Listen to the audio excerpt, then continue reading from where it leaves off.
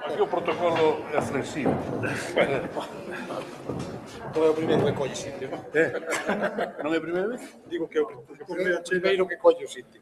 Bueno, non, non, eu a veces procuro mirar, pero en fin, como estamos casi entre o familia, entonces eh, vamos a ver, queres dizer unhas palabrinhas? Ou, ou deixamos... Seja. Eh? eh que queiras, ti, ti, ti, que ti, ti, ti, ti, ti, ti, ti, ti, ti, ti,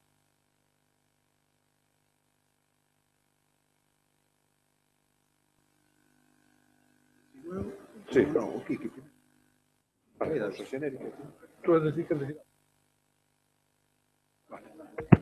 Ola, vos, boas tardes, eh, benvidas e benvidos a esta segunda sesión do Congreso Filgueira que eh, coordina a Real Academia Galega, pero que no que colaboramos distintas institucións.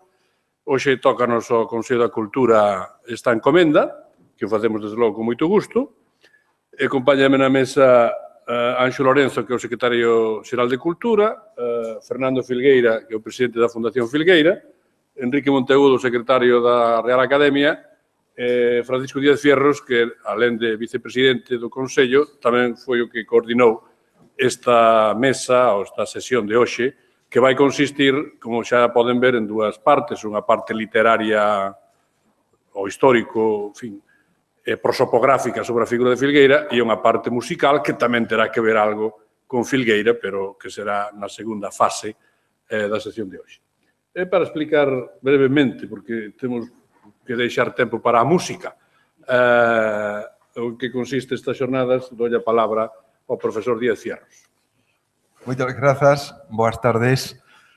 Eh, cando se nos encomendou eh, facer esta sesión de homenaxe ao que forra presidente eh, do Consello da Cultura Galega, don Fernando Filgueira Valverde, eh, pensamos que quizáis un tema moi acaído sería a relación de don Fernando con Santiago. Certamente hai dúas, dúas cidades que teñen moito que ver coa vida, coa súa vida. A primeira, sin dúbida, é Pontevedra, non é necesario abondar nas razóns de por que Pontevedra é un pouco su, vamos a dizer, su contorno vital onde desenvolveu toda a súa vida, desde a súa nerez hasta os últimos anos da súa vida, pero evidentemente Santiago tamén significou moito. Significou moito porque aquí veu de estudante, aquí crearon o Seminario de Estudos Galegos, máis adiantes que se creou o Instituto de Estudos Galegos Padre Sarmiento, e finalmente foi presidente do Consello da Cultura Galega, é dicir, desta casa. Por lo tanto, unha parte moi importante da súa vida ten relación con esta cidade. Pero non menos importante é o tema xacobeo. O tema xacobeo, sin duda, que impregna todo o que significan estas pedras, realmente estivo presente ao longo de toda a súa vida uh, literaria eh, de escritor. Mm, simplemente, con darlle un repaso ao Sadral, ese monumento da literatura galega actual, podemos ver como o tema xacobeo é algo recurrente, permanente. Mesmo, nalgún do Sadral, son capítulos aparte. Por lo tanto, eh, xa non quero insistir máis sobre as razóns de por que Santiago é importante, moi importante, e, por lo tanto, a idea fundamental, o eixo que vai un pouco resumir as intervencións eh, nesta tarde é precisamente Santiago, a cidade de Santiago, é a figura e o traballo e a obra de don Xosé Filgueira Valverde. Bueno, gracias. Anxo Lorenzo. Sí, unhas palabrinhas de salutación. Bueno, pois pues moi rápido e moi breve. Boas tardes a, a todos e a todas. Eh, bueno, eu creo que é unha, un, bo, un bo remate de, de festa, un bo remate do ano das letras galegas dedicadas a, dedicadas a Filgueira Valverde por parte da Real Academia Galega este conxunto de actividades de, de peche do ano que entre as institucións aquí representadas, Real Academia Galega, Consello da Cultura Galega e a Fundación Barrié, que non nos acompaña, pero que tamén está detrás deste programa, pois como digo, un broche eh, perfecto, magnífico para para dar remate este ano Filgueira intenso, con moitísima actividade, con sobre todo con moitísima participación da familia Filgueira, unha boa representación aquí presente que tamén é de agradecer ese impulso, non, por parte da por parte da familia en todos os actos, en moitos dos actos que se fixeron ao longo do ano, eh, como digo, alrededor de, da figura de Filgueira e das letras galegas. Así que, pola miña parte, parabéns ás entidades que, que, está, que confeccionaron este programa, este fin de festa eh, acaído para o que significa e o que o que creo que puidemos celebrar ao longo deste ano e moitas grazas a todos vostedes por acompañar hoxe esta sesión. Grazas, eh, Anxo. Fernando. Pois eu dúas verbas para agradecer, como sempre, e verdadeiramente o que decía Díaz Fierros, eh, Filgueira, eu creo que medrou intelectualmente de forma notable en Santiago, eh, creo que aqueles mozos que fundaron o seminario todos viron o ou moitos non puderon velo, pero todos viron como resurdía o país a partir de, daquelo. E despois Filgueira tuvo a dita de poder estrenar este Consello da Cultura despois de haber pasado por aquela consellería que vivían nun piso en que a cociña era arquivo. entonces realmente para él eso estar na Praza do Obradoiro casi codeándose co apóstolo da fachada barroca eh, foi e a, o doutor honoris causa da Universidade de Santiago creo que foron un colofón vital que foi para el moi impactante, non? E nosa familia estamos fondamente agradecidos por todos os esforzos que man, facedes por manter acesa a súa memoria e a súa obra. Moitas gracias. Gracias, Fernando. Eh, Enrique Montegudo, unhas palabriñas tamén, por favor. Boas tardes, señor presidente, autoridades e familia de Filguera, amigos e amigas. Eu veño representando a Academia Galega, o presidente non pode vir porque ten un pequeno contratempo de saúde estacional, que non é grave, pero bueno, impide estar hoxe aquí. Eh, A Academia con este tipo de actividade, como a que temos agora, retoma unha idea que naceu en colaboración co Consello no seu día, que foi a de, a final de ano, facer unhas xornadas de estudo, unha especie de recopilación, de recapitulación do, do, sobre a figura a que se dedica o Día das Letras Galegas. Ou a celebración das Letras Galegas é unha celebración que ten unha dimensión cívica, educativa, lúdica e cultural nun sentido moi amplo, pero eh, tamén ten esta dimensión máis de estudo, máis de reflexión, máis de, aprofundir, de aprofundar, que a que se pretende, a que se pretende dar o broche do ano eh, nesta ocasión e nos anos anteriores. Eh, é unha gran satisfacción para a Academia que isto se faga en colaboración con outras institucións, a liña de traballo da Academia é unha liña de traballo de, de buscar as colaboracións, e a figura de Filgueira unha figura moi acaída para isto, porque foi un personaxe tan polifacético, por unha parte, tan enormemente polifacético, e por outra parte, porque foi un personaxe que liderou varias institucións, traballou moito desde o ámbito institucional, que é un ámbito complexo para a cultura galega, certamente, e sobre todo a súa articulación, bueno, pois que é a vida cultural galega en xeral. Ninguén pode dubidar este perfil de Filgueira de erguer institucións, de levantar institucións, de traballar desde as institucións. Eu mesmo coñecín na súa época de Conselleiro de Cultura, coñecín a Araceli tamén daquela, dese piso que recordabas ti, que era outro con cociña. Bueno, eu falo da República do Salvador. Eu falo da República do Salvador. Despois no Consello, sí, aquí na, na Rúa do Vilar, tamén o, tamén o recordo, claro, evidentemente, cando foi presidente do Consello. Eh, é, unha, é un personaxe que se prestaba moito para envolver un pouco esta liña de colaboracións interinstitucionais. Fixemos un programa bastante completo, creo, a semana pasada Pontevedra en Filgueira, Filgueira en Pontevedra, esta semana Compostela, pero tamén afondando nese aspecto de institucións. E logo, eh, o xoves e o venres na Coruña, na Academia, a Academia imos tratar máis do aspecto máis que máis toca a academia realmente, literario, lingüístico, filolóxico, erudito de Filgueira, e na, o Benres, na Barrié, pois toda a colaboración que el tivo ca Barrié nos campos moi importantes que el traballou tamén do, do folclore, da música, do cancioneiro popular, e remataremos cun acto máis dirixido ao grande público, que por suposto están todos vostedes convidados. Por tanto, eh, estes traballos esperamos recollelos tamén, os que se van presentando nesta xeira de estudos en as tres cidades, esperamos recollelos no Boletín da Real Academia Galega, para, para que son traballos que creemos que merecen quedar aí para, para consulta para o estudo do futuro. É unha gran satisfacción, por tanto, estar aquí representando a Academia e participando destas xornadas. Ben, pois xa sin máis requilorios, imos a comezar. Eu eh, agradezo todas estas eh, a compañía e as boas palabras e tamén e a presencia de todos vostedes, como despois tamén vou falar algo, eh, creo que o mellor é que comecemos, e, por tanto, eh, isto o que imos facer de contado. Recambiamos a mesa. Oh, non fai falta, non. Então, eh, empieza así, empieza... Escolhemos todos aqui ou. Sim. Queres que estamos todos aqui ou. Não, Para, pois. Um do.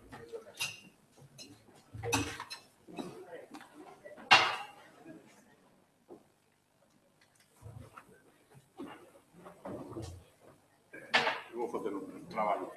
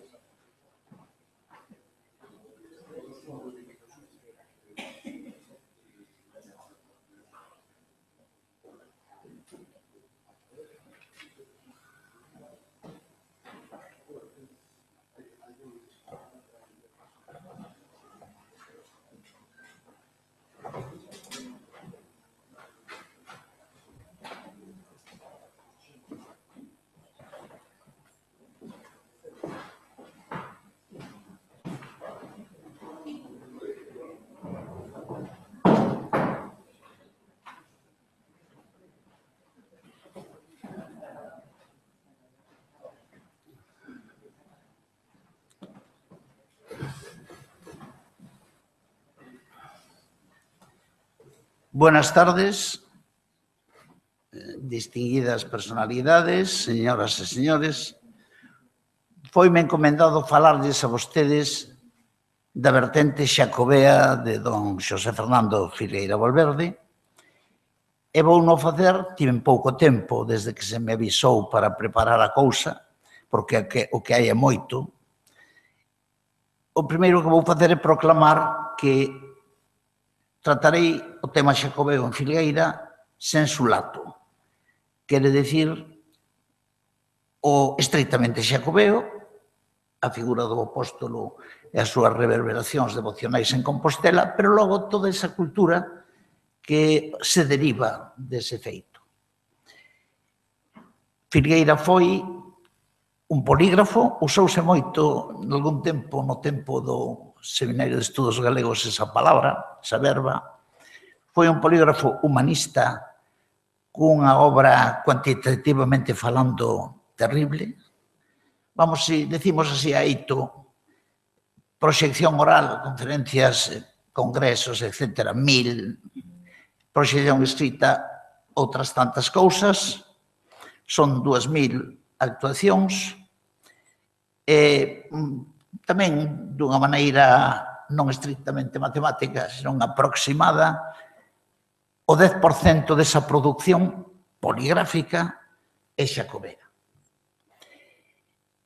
É verdad que moitas cousas aparecen repetidas, é dicir, foron conferencias, artigos no medio A, no medio B, publicados hoxe, publicados despois con variacións, recopilados, de maneira que aparecen os temas, moitos temas eh, de maneira plural, tratados con variantes.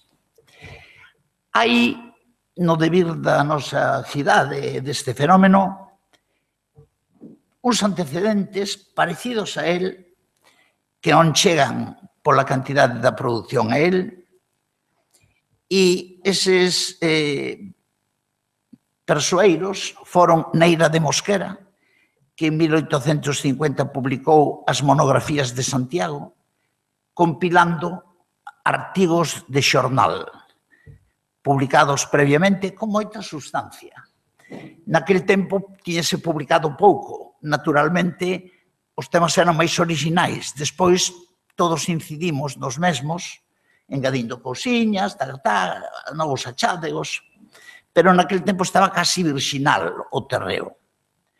E a seguir de Neira de Mosquera, que foi un xornalista ilustre aquí, formado en filosofía, formado en dereito, ven a figura que morre en 1948 de don Celestino Sánchez Rivera, director, tamén xornalista, pero xornalista con fundamento, fundamento humanístico, Eh, el dirixiu o Eco de Santiago e publicou outra obra que se chama Notas Compostelanas.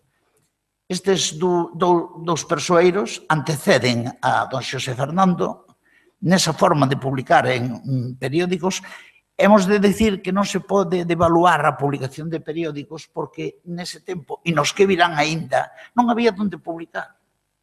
A capacidade de ter vías de publicación era pequena, a xente tamén demandaba máis esas cousas, os propios xornais facían números monográficos, entón pedían colaboracións, de maneira que ten o mesmo valor que se fora unha das publicacións científicas requintadas.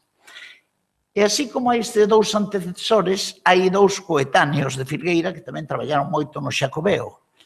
Por orden de antigüedade, o primeiro é Xesús Carro García, que este era monográfico, porque traballou fundamentalmente no Xacobeo, unha extensión en algunhas cousas referentes a Galicia, e unha obra que son varios libros, perto de 300 artigos dispersos, e non tivo a sorte de facerse unha compilación que se ten que facer porque realmente o que hai é moi valioso. E agora a xente xa non atopa esas cousas, porque moitas das fontes de publicación eran revistas ou periódicos e cos difíciles de atopar.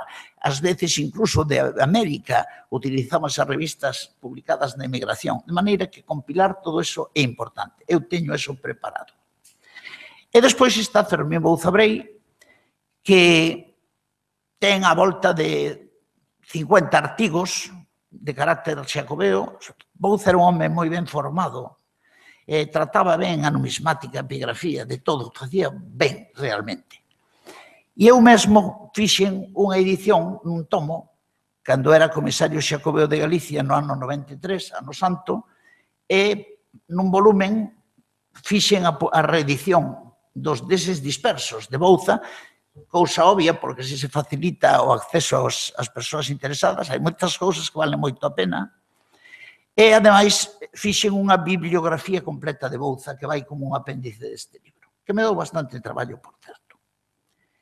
Bueno, eh, para o futuro, eu propio, e dicir que teño, non sei se 400 artigos dispersos tamén, publicados xa en diversos medios, e que xa merecen ser, eh, teñen sustancia, non é fácil falar do propio, pero teñen sustancia como para meteros nos tomos. E isto dito, e de engadir na parte inicial que do Xosé Fernando era ademais un home moi traballador e moi ordeado e cuidadoso do seu. De maneira que ela anotaba absolutamente todo o que facía, hasta as notiñas máis pequenas, unha intervención pechando a inauguración dunha, dunha, dunha eh, exposición eh, nun sitio que o invitaban algo, eso todo anotaba e si podía, publicábaos tamén como notas. De maneira que está todo moi ben organizado. A bibliografía anual podese ver na revista do Museo de Pontevedra, concretamente nas memorias anuais, onde sempre hai un capítulo que é a actividade do director. Entonces, por anos, ven todo. Hai outras bibliografías del coa bibliografía máis ou menos actualizada segundo ano, pero el vai facendo e engadendo todo. É, é algo que envidio cordialmente, porque moitas veces un non ten ese tino e esquecese despois das cousas. De maneira que, moi ben feito. E agora vamos á sustancia. O primeiro lote de cousas a falar son os libros. Os libros. E referir aquí un, dous, tres, catro, cinco, seis, sete, oito, nove libros brevísimamente. O primeiro, publicado en 1932, é unha guía de Santiago, Santiago de Compostela, editada na sección de libros guía de España por, por Espasa Calpa, Espasa Calpe, é subordinada ao Patronato Nacional de Turismo. A tal guía con pastas de cartoné é un texto excelente da cidade, unhas 100 páxinas, ilustrado con un plano a cores vistoso e, e cheo de información do monumental e logo despois 16 fotografías en sepia a páxina inteira cos monumentos principais que son a catedral e a súa periferia. Pero, seguindo o patrón normal das guías, describe as cousas que hai, ten un pequeno apéndice para mencionar os arredores da cidade. Aí reproduce un feito que xa tiñan elaborado eh, Fernández Sánchez e Freire Barreiro na guía do 1875 deles, que son arredores. E por arredores fala de lugares senlleiros na periferia inmediata da cidade. E aí van a salir eh, Conxo, o mosteiro que foi de Conxo, vai a salir San Lorenzo de Trasoutos, e vai a salir San Pallo do Monte, esa iglesiña, unha ermida, inicialmente no Monte Pedroso, ca memoria inequívoca da presencia de San Francisco, porque ali é onde a tradición franciscana coloca o carboeiro Cotolai naquel 1213 da vinda de San Francisco e a fonte do milagro onde se di que achou os recursos económicos un tesouro para financiar a construción por mandato do santo e petición de colaboración do, do, do convento franciscano de Santiago e de maneira que se evoca a peregrinaxe deste ilustre fundador eh, da Orde Menor que aínda fai pouco se conmemorou no seu centenario. Pero tamén apunta na guía para outros lugares xacobeios máis lontanos. En concreto, fala de Padrón, É obvio o xacobeísmo de Padrón con Iria, porque ali está a memoria do apóstol predicador, por tanto, nunha época incerta entre o 33 morte de Cristo e o 42-44 do seu martirio, e tamén está a memoria do retorno do corpo morto vía marítimo fluvial até Iria Flavia, ben o lembra a estatua sedente do altar mor da Igrexa de Santiago de Padrón, similar a, a, ao oposto sedente da, do noso altar mor, co, por, co pergamino desplegado e o dedo senalando para baixo, e imitando a inscripción que temos aquí, ali dice como convén. ik fuit, aquí estivo. Aquí dice ik est. De maneira que indica eso e deixa as conexións para que a xente busque a maneira. Non se esquece, por tanto, da cidade da súa orixen tradicional e das súas circunstancias. A segunda obra que vou a mencionar é, do meu punto de vista, de todos os libros que el fai, o que ten máis substancia, el libro de Santiago, con 96 ítems e ordenados en nove, en nove capítulos. Jacob's Land, o apóstolo, signos xacobeos, a flor dos peregrinos, os milagros, aí naturalmente eh, a guía é o Calistino sempre, tradicións compostelanas, tres cousas ten Santiago, o Botafumeiro, o Apóstolo, eh, os gigantóns, e unha cuarta, puntos, puntos a chuvia, a chuvia. Logo, a, a cidade e as súas circunstancias, é un apéndice que son as calendas compostelanas. É dicir, as festas civiles e religiosas. É unha especie de guía para o que queira ir a tales misas, cuales memorias, tales aniversarios. A que...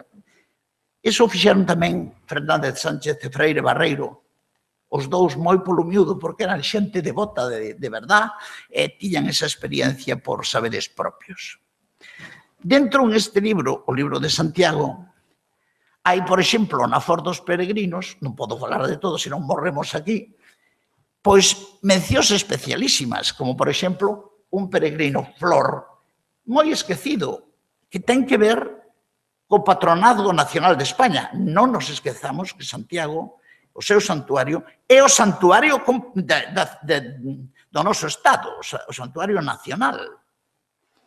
E Santiago é o patrono, non só do Estado, senón do exército, o Estado do Reino no seu momento, senón dos exércitos, nomeadamente da caballería. E o berro de Santiago de cerra España, cerrar non é abrir, o contrario de abrir, é orden de carga da caballería. Pois temos eso, e temos que manter ese direito. Un dos que veñen nesa flor de peregrinos vai a ser, vinculado co militar, o gran capitán, Gonzalo Fernández de Córdoba, que entón xa estaba en Loja retirado despois dunha da súa vida azarosísima no 1507. E doído polo, pola forma en que Fernando de Aragón o tiña tratado, houve sempre enteres uns tiumes aí, e ven a agradecer, pasada a súa vida xa, acabada, xa está Ceriñol, a tratar aquelas cousas maravillosas no, na lembranza lontana e ven a agradecer ao patrono o seu servizo tutelar. E deixe instituída unha memoria para ele e para a súa muller, coas misas e ta, ta, ta, e os diñeiros de dotación pertinente. Mais unha lámpada de prata coa inscripción que foi colocada no camarín de Santiago, no camarín do altar mor, e ali está iluminando permanentemente a espalda do patrono. Ainda hoxe, cando vayan ali, non teñen máis que levantar a vista no centro da cupuleta do camarín, pódese ver. Naturalmente, neste libro non poden faltar referencias á Porta Santa, ao Botafumeiro e aos xigantes no altar. Vou dicir dúas cousas. No caso da Porta Santa hai un guerro e é que a Porta Santa pensábase que era unha das sete portas menores que tiña a Catedral Románica. Eso a partir do ano 33, por unhas obras que se fixeron na parte da cabeceira, quedou alterado, porque se descubriu a séptima porta que estaba tapiada e a primeira publicación que se vai sobre iso é Xesús Carro, o cual leva a que si a Porta Santa non era unha das sete románicas porque a séptima encontrouse co feitío románico, inmediatamente houve que pensar que tiña sido aberta a posteriori, que é o que pasou. E pasou probablemente no 1521 porque Roma non había portas santas. Roma ábrea unha propia no ano santo 1499 é cando se inaugura. Entonces Roma imita, e Santiago imita a Roma e abre unha porta santa propia. Porque non existían. Claro está, ter unha porta especial non ten valor ningún, porque para ganar o xubileo eso non vale. O que vale son as condicións canónicas que se fixan a tal efecto. E, sin embargo, ten o papel dun rito de tránsito. Claro, fora é o pecado, Fora é o frío, fora é a oscuridade, fora é a chuvia, fora é o malo, dentro é a, a pureza, tal, tal. De maneira que é o ritual de tránsito, como todos os que hai na, na propia vida dos homens. Pensese que a circuncisión é outro ritual de tránsito, no caso dos xudeus e de outras poblacións. Eh, de maneira que, pequenas cousas. Os xigantes no altar é algo que se esqueceu. Eu ainda o lembro na miña meninice. E logo o Cabildo suprimeu aquilo porque lle parecía... Xesús Carro publicou un artigo sobre eso, que é o que queda. Pois xa non se fai. No día 25, ao rematar a misa mor, cando se retiraba o clero, entraban os xigantes, pero solamente unha parella, porque todos non cabían no espacio da capela mor. E subían ali ao pé do altar e bailaban para o patrón, o coco e a coca. E un pequeniño, lembrome, ir e levábanme para ver aquilo. Co gaiteiro e o tamborileiro do cabido, cos seus, cos seus traxes eh, uniformales eh, de color amarelo. Pero, no momento dado, cortouse esa tradición que se entendía como unha homenaxe do povo. Os gaiteiros estaban a representar a sinxeleza do povo ante o patrono. Despois dos fastos religiosos solemnes, daquelas procesións de mitradas con cetros, capas, etc., o voto botafumeiro, o cheiro incenso. Era o povo. E a xente que daba para ver aquilo. Por tanto, é aí unha cousa que Filgueira lembra.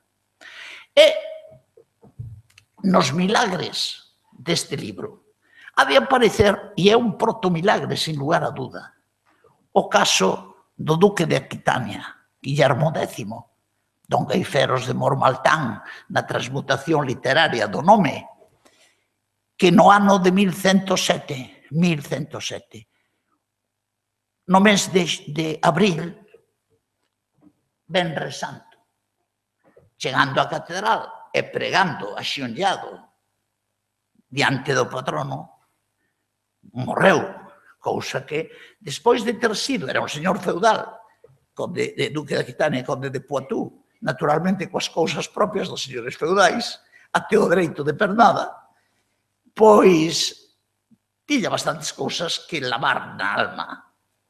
E claro, aquelo acabar de confesarse, de quedar con contra kilómetros a cero, morrer rapidamente, logo maravilla. Gracias, meu señor Santiago, a vos os tes me, me tes xa. Se queres tirar a vida, podes, mas señor, tirar, porque morrerei contento nesta santa catedral. E ora, a, a, as expresións maravillosas e o vello das barbas brancas caiu tendido no chan. Pechou os seus ollos verdes, verdes como auga do mar. E o obispo que subiu, ali o mandou enterrar. E así morreu, meus señores, gaiferos de Borbatac. Isto unha fanfonia como facía Santalices que daba de medo. De maneira que a lembranza, a lembranza do, do gordo non pasa. E nos 60 publica Filgueira outro libriño de, editado por bibliófilos, el TEC ten catro libros publicados por bibliófilos, que é unha editorial que tuvo a súa zona, moi ligada a Filgueira, moi ligada a Sánchez Cantón, a Pilar Sánchez Cantón, etc. E vai a ser o tesouro da Catedral de Santiago. Naturalmente, el, eh, vense lendo o libro, as fontes que el manexa é inevitable. E ali van a salir as mellores cousas. Primeiro, fai unha historia da propia evolución de, do tesouro. E hai decir que agora, cando vamos ali e ollamos para o que se conserva, eso penso que non é ni a cincuentava parte do que debía haber. Penso que me quedo corto. É que desapareceu por cuestións múltiples. O propio cabido que moitas pezas as desfacía para fundilas e facer outras cousas que lles conviñan máis. Regalos que saían do tesouro a partir de pezas que habían sido recibidas. Un deles saben cal vai a ser o báculo da Raíña Santa Isabel de Portugal. Porque o báculo da, San, da Raíña Santa Isabel, que lle foi ofrecido polo entón arcebispo de Santiago, que era Fray Berenguer de Landora, de Landual. Foi un regalo improvisado, porque claro, a riña aparecía aquí, ainda que chegara un heraldo cinco días antes a avisar, non tiñan tempo. entonces botaban mando que había. É un báculo episcopal do tesouro, máis antigo, románico gótico, foi dado porque era un báculo dun prelado dos mortos, E está coa estrutura dos báculos que eran peculiares en aquel momento dos arcebispos de Santiago, que eran os báculos en tau. Porque eran unha imitación do que ten o Santiago sedente do pórtico. O Santiago sedente do pórtico está con báculo en tau. E tamén o ten o Santiago el menor que está na columna da dereita, con eh, Moisés, e, eh, Moisés eh, Pedro, Pablo, Santiago e Juan. Pero ese Santiago, Santiago el menor. Eran os báculos en tau. Entonces, obsequiaron a Santa Isabel, que o levou para lá, que anduvo con el o resto dos pouco tempo que viveu, e que se fixo enterrar co tal báculo. E foi encontrado no século XVII, o ano 1622, cando se trasladou o corpo de, de Rainha Santa desde Santa Clara a Bella ao pé do Mondego hasta Santa Clara a Nova, máis alta para salvarse das inundacións do río. E ali aparece ao abrir, estaba dentro. Ela xo tiña na, na estate xacente, pero a realidad, o báculo verdadeiro, e a escarcela de peregrina estaba dentro. E sacáronse. O báculo felizmente conservouse. É un báculo, estudiei no eu, anduve con el polo mundo en exposicións. O, o ástil do báculo de plata grabado con conchas de Venera, a Venera, conchas de Vieira, técnenlle a Cobeus. E logo unha peza de jadeita e dúas cabezas de león, unha maravilla. Pois aí teñen a maneira de que o tesouro iba escorregando. E moitas pezas foron tamén dadas para necesidades de guerras, axudando aos reis nas contingencias que había. Outras foron roubadas. Entre elas, e Ferieira fai referencia, a cruz de Alfonso III, que ele e a súa muller, como pon a inscripción que está no reverso da cruz, Adefonsus Rex, eh, terceiro, ex Temena Regina, regalaron o ano 887 unha cruz como a Cruz dos Anxos da, da Cámara Santa do Viedo, ou a Cruz da, da Victoria, ou a cruz que ten eh, na zona dos pés do seu, da súa tampa sepulcral Teodomiro de Iria unha cruz de brazos trapeciais, prerrománica, un centro circular chea de, de ouro, lámina de ouro, sobre, sobre, sobre alma de madeira, foi roubada no 1907 e non se pudo explicar nunca como foi aquel roubo. Filgueira e outros autores hasta chegan a constituar se era unha maravilla feita por aquel voler internacional que Arsenio Lupin pero por onde entrou, ali na Capela das Reliquias tiña a porta con, gra, con grades tal, pechada, logo unha ventaniña lá arriba, non hai nada raro, e abren a porta pola mañá e non está a cruz, e nunca máis se soubo. A que temos hoxe é unha réplica que se fixo sobre fotografías. Naturalmente, no tesouro da Catedral de Filgueira aparecen as fotos felizmente. De maneira que este libro, como ven, é moi importante. E logo ven outro que Na mesma colección Obradoiro, eh, o ano 69, nove anos despois, que a narración da viaxe que fixo a Galicia un hispano francés, Daniel Urrabieta, Vierge, a mamá era francesa, que vai a ser corresponsal do, do, del Monde Illustré de París, e el ven para buscar información. Está en Galicia nos anos 80, de 1800. E entón fai moitos apuntes, porque era un dibuixante estupendo e os artigos iban ilustrados. A partir dos apuntes logo facía dibuixos a serio.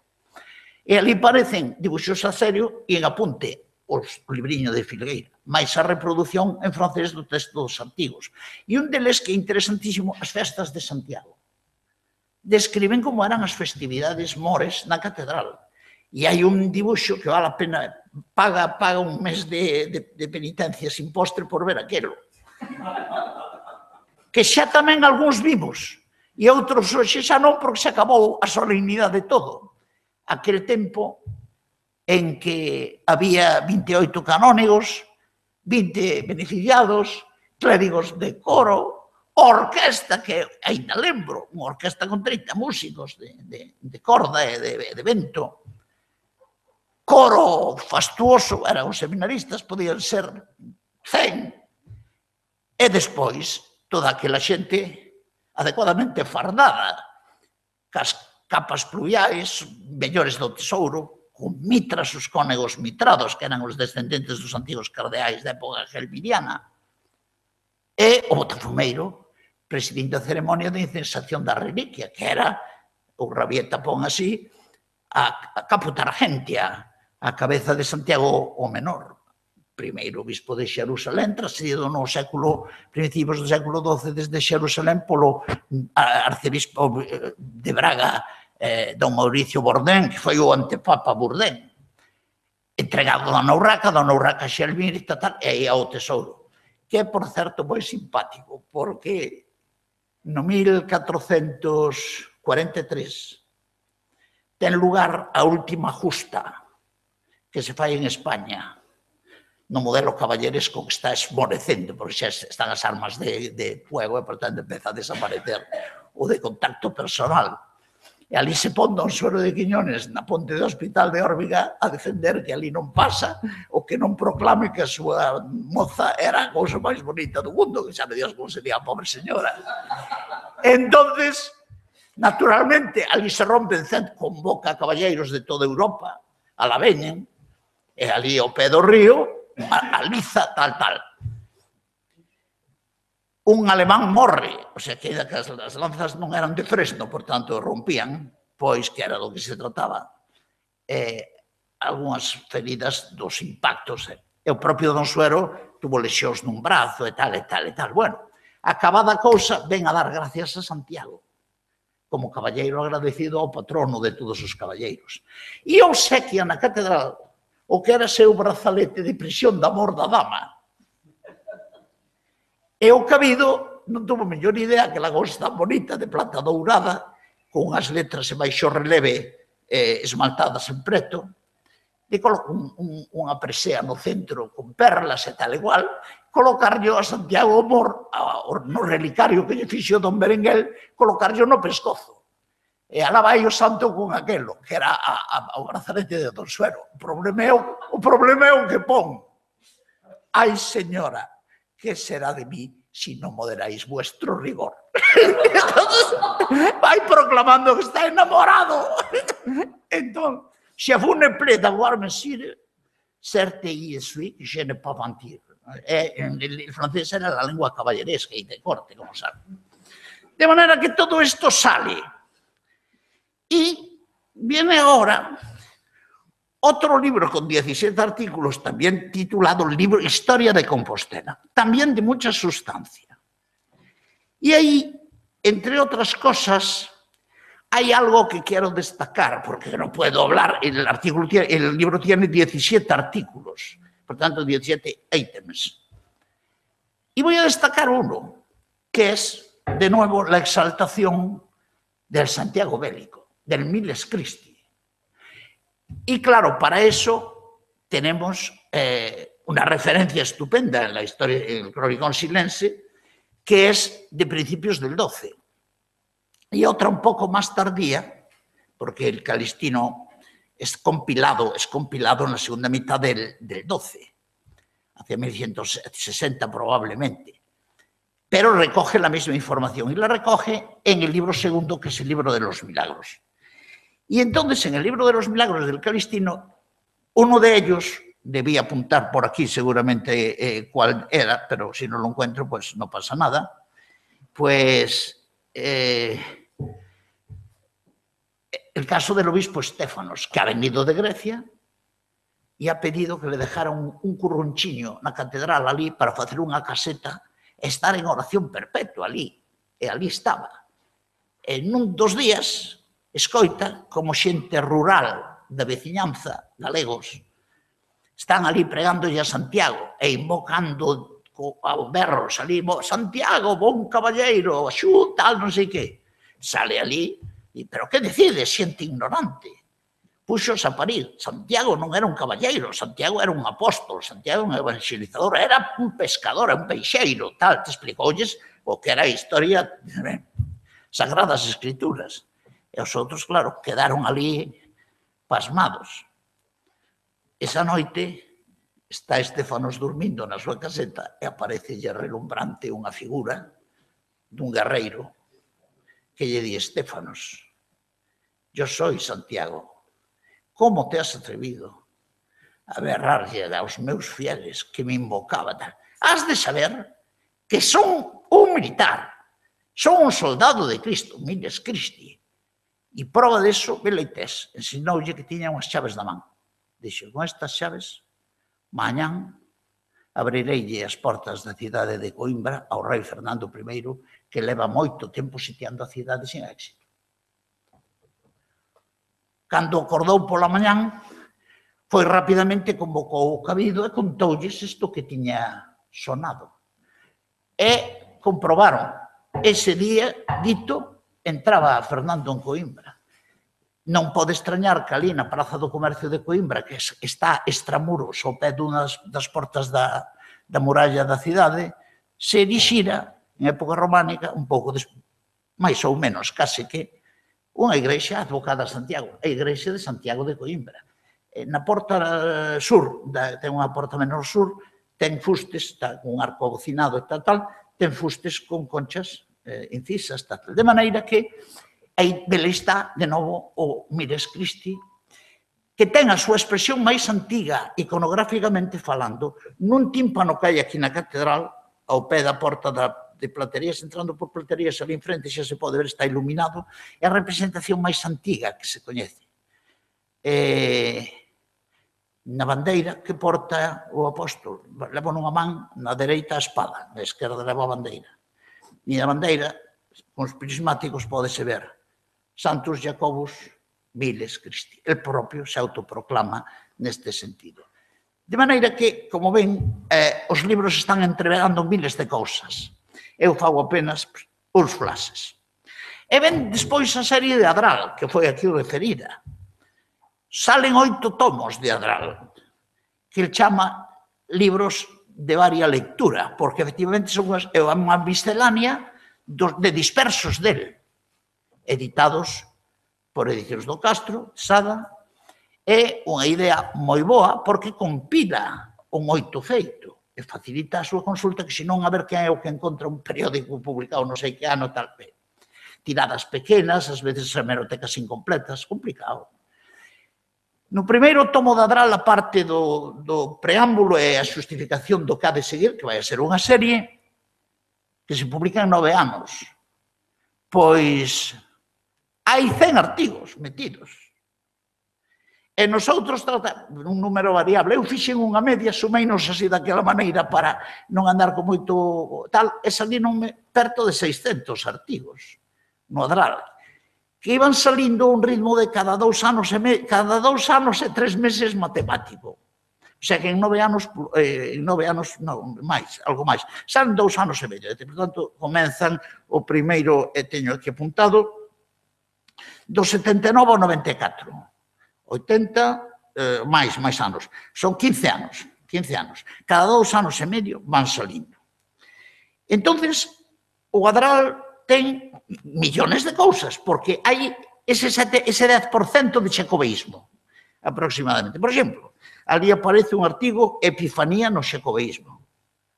Aparece o Argadillo, aparece Cosme III de Médicis, tacatá, tacatá, tacatá, así, inmensas cousas que repito, elas veces tamén as publicaba noutras partes. Eh, había, hai moitas publicacións duplicadas pero non idénticas, non é o mesmo exactamente, é o mesmo tema, tal vez con engadidos, que sotadémolo todos. No caso, por exemplo, que mencionei aquí, a epifanía no xacobeísmo, é a gran frecuencia que existe en Santiago e en Galicia de tímpanos co tema iconográfico do, da epifanía, é dicir, a adoración dos reis. Porque se entende que os reis de magos que venen de Oriente son os primeiros peregrinos porque son os primeiros que van a venerar ao, ao, ao, ao, ao que dá nacemento, co seu nacemento, a nova religión. Logo, nunha cidade de peregrinaxe, Mor, pois, ten cabida esa iconografía. E esa gran frecuencia, por tanto, é explicada así.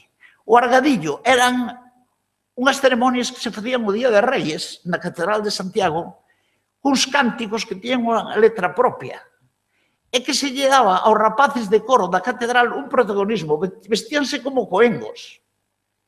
E facíanlle un serie, unha serie de mimos, era, digamos, unha festa para os nenos, na propia, no propio ceremonial pontifical da catedral. E hasta se facían tramollas que algún deles, vestido de anxo, baixaba, aproveitando as poleas do, do botafumeiro, baixaban viño do ceo, coa estrela e tal, unha cousa interesantísima. E unha, unha chea de persoeiros, entre eles algún médico do, do século XVIII, é o caso do doctor Gómez de Bedoya e Padre Paredes, eh, o primeiro catedrático de Anatomía e Cirurxía da Universidade de Santiago, da Facultade de Medicina, que ven estrena a cátedra no 1755, foi un persoeiro interesantísimo porque ten unha proxección cultural na cidade, entre outras cousas como autor de letras de argadillos. Bueno, e Compostela Camino e Estrela, alrededor do libro Artículos de Bibliofilia, e faríame falta moito máis tempo e teño que cortar. Fai Filgueira tamén exposicións, en no sentido de elaborar os catálogos e a montaxe.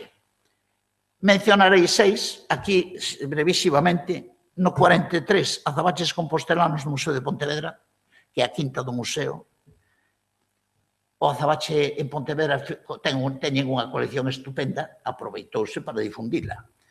Logo, no 48, la imprenta en Compostelana, libros e folletos hasta 1868, aquí unha mención a, a, ao grande bibliófilo pontevedrés, Odriozola, Odrio Zola, É unha exposición que se fai no Instituto de Estudos Galegos.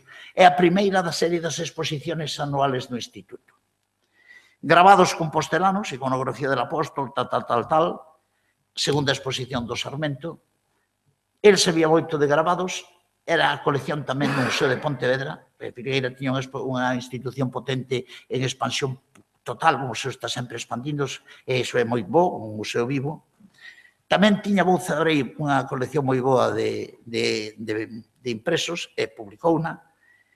Nos 60 unha exposición sobre a Venera, a 18 exposición do Padre Sarmento, a Baneira que é un protosímbolo xacobeo que habría moito que falar dela ainda, e a exposición que se fai en Gante o 1800 o 1985 dentro de Europalia 95 España.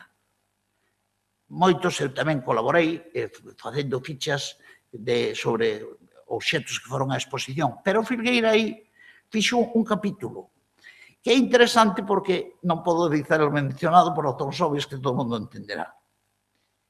La, la literatura sur le chemin de pelerinage de Saint-Jacques de Compostela. Fai o capítulo da literatura. Que dentro do moito que el fai, eh, eh tantos aspectos xacobeos, Este era un plato fuerte para él, porque claro, a súa formación literaria favorecía inmenso coñecer fontes mínimas. E aquí sale xoglares e trovadores recitados e teatro, o ciclo carolingio, o Codes Calistinos, o libro cuarto, o seu do Turpín e o ciclo carolingio. Turpín, por la gracia de Dios, arzobispo de Reims y constante compañero del emperador Carlomano en España, a ti, Luis Brando, de Andes, de Andes Gran, salud en Cristo, y aquella teminiada impresionante. El ciclo carolingio está. Luego, de nuevo, el Miles Christi, la peregrinación de las almas. Esto es mitad Aquel, eh, o, eh, o, senxor, o señor Santiago é un cabaleiro forte, o que non foi en vida terá que ir en morte, ta, ta, ta, ta, ta como San Andrés de Teixido, eso tamén tendría moito que hablar, que viene de los ciclos célticos.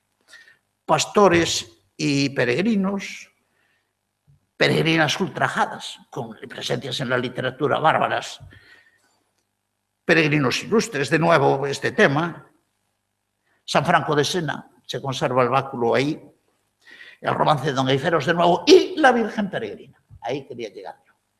Entonces, claro, la Virgen Peregrina, pues en Pontevedra tiene su paradigma, es una advocación secundaria a la de Sagún, está muy promovida por los franciscanos y quizá arranca de una de las miniaturas en las cantigas ilustrativas de las cantigas de Alfonso X Sabio, que presenta a la Virgen con hábito de peregrina y con el bordón. Es el momento en que se les aparece a unos peregrinos franceses de Soissons y ella aparece vestida como ellos. Claro, el santo se identifica con sus devotos, igual que la advocación aquí del Santiago Peregrino, con el Santiago Caballero, a partir de Clavijo y sus circunstancias, y del Santiago Sedente, que es el que recibe en su casa. Como está en el pórtico, el primero, porque la estatua del altar no olviden que es posterior. La del pórtico tiene fecha eh, entre 1166 y 1188, que es cuando se hace el pórtico.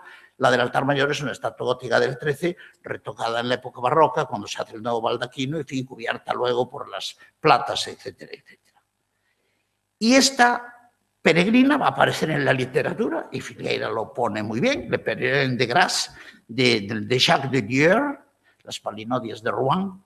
Aparece en el siglo XVII en Lope de Vega, en el Truán del Cielo, se le aparece la peregrina en hábito del tal a Fray pero Serra, nada menos, gran figura franciscana, y será patrona, por vía del franciscanismo, de las misiones de California y de México. Por tanto, ahí tienen ustedes una expansión. En Santiago tenemos también la Virgen Peregrina en una capilla que está en la salida norte de la ciudad, y claro, en Pontevedra está su santuario con planta de venera y todas esas otras evocaciones. Y no quiero mm, ya ocuparles más tiempo, aunque tengo aquí mucha metralla, pero eh, tengo que tirar de las orejas a don Francisco Díaz Fierros, porque no, no, no tuve mucho tiempo para esto, pero en fin, lo importante es recordar a un amigo, y a un amigo que trabajó mucho. Tuve la suerte, por razones de su amistad con mi tío Jesús, de conocerlo desde mi infancia y de compartir con él muchas cosas en el Instituto de Estudios Gallegos Padre Sarmiento, donde él era director, yo fui secretario muchos años. Y por tanto, pues, eh, algunos tiempos pasados sí fueron mejores. Muchas gracias.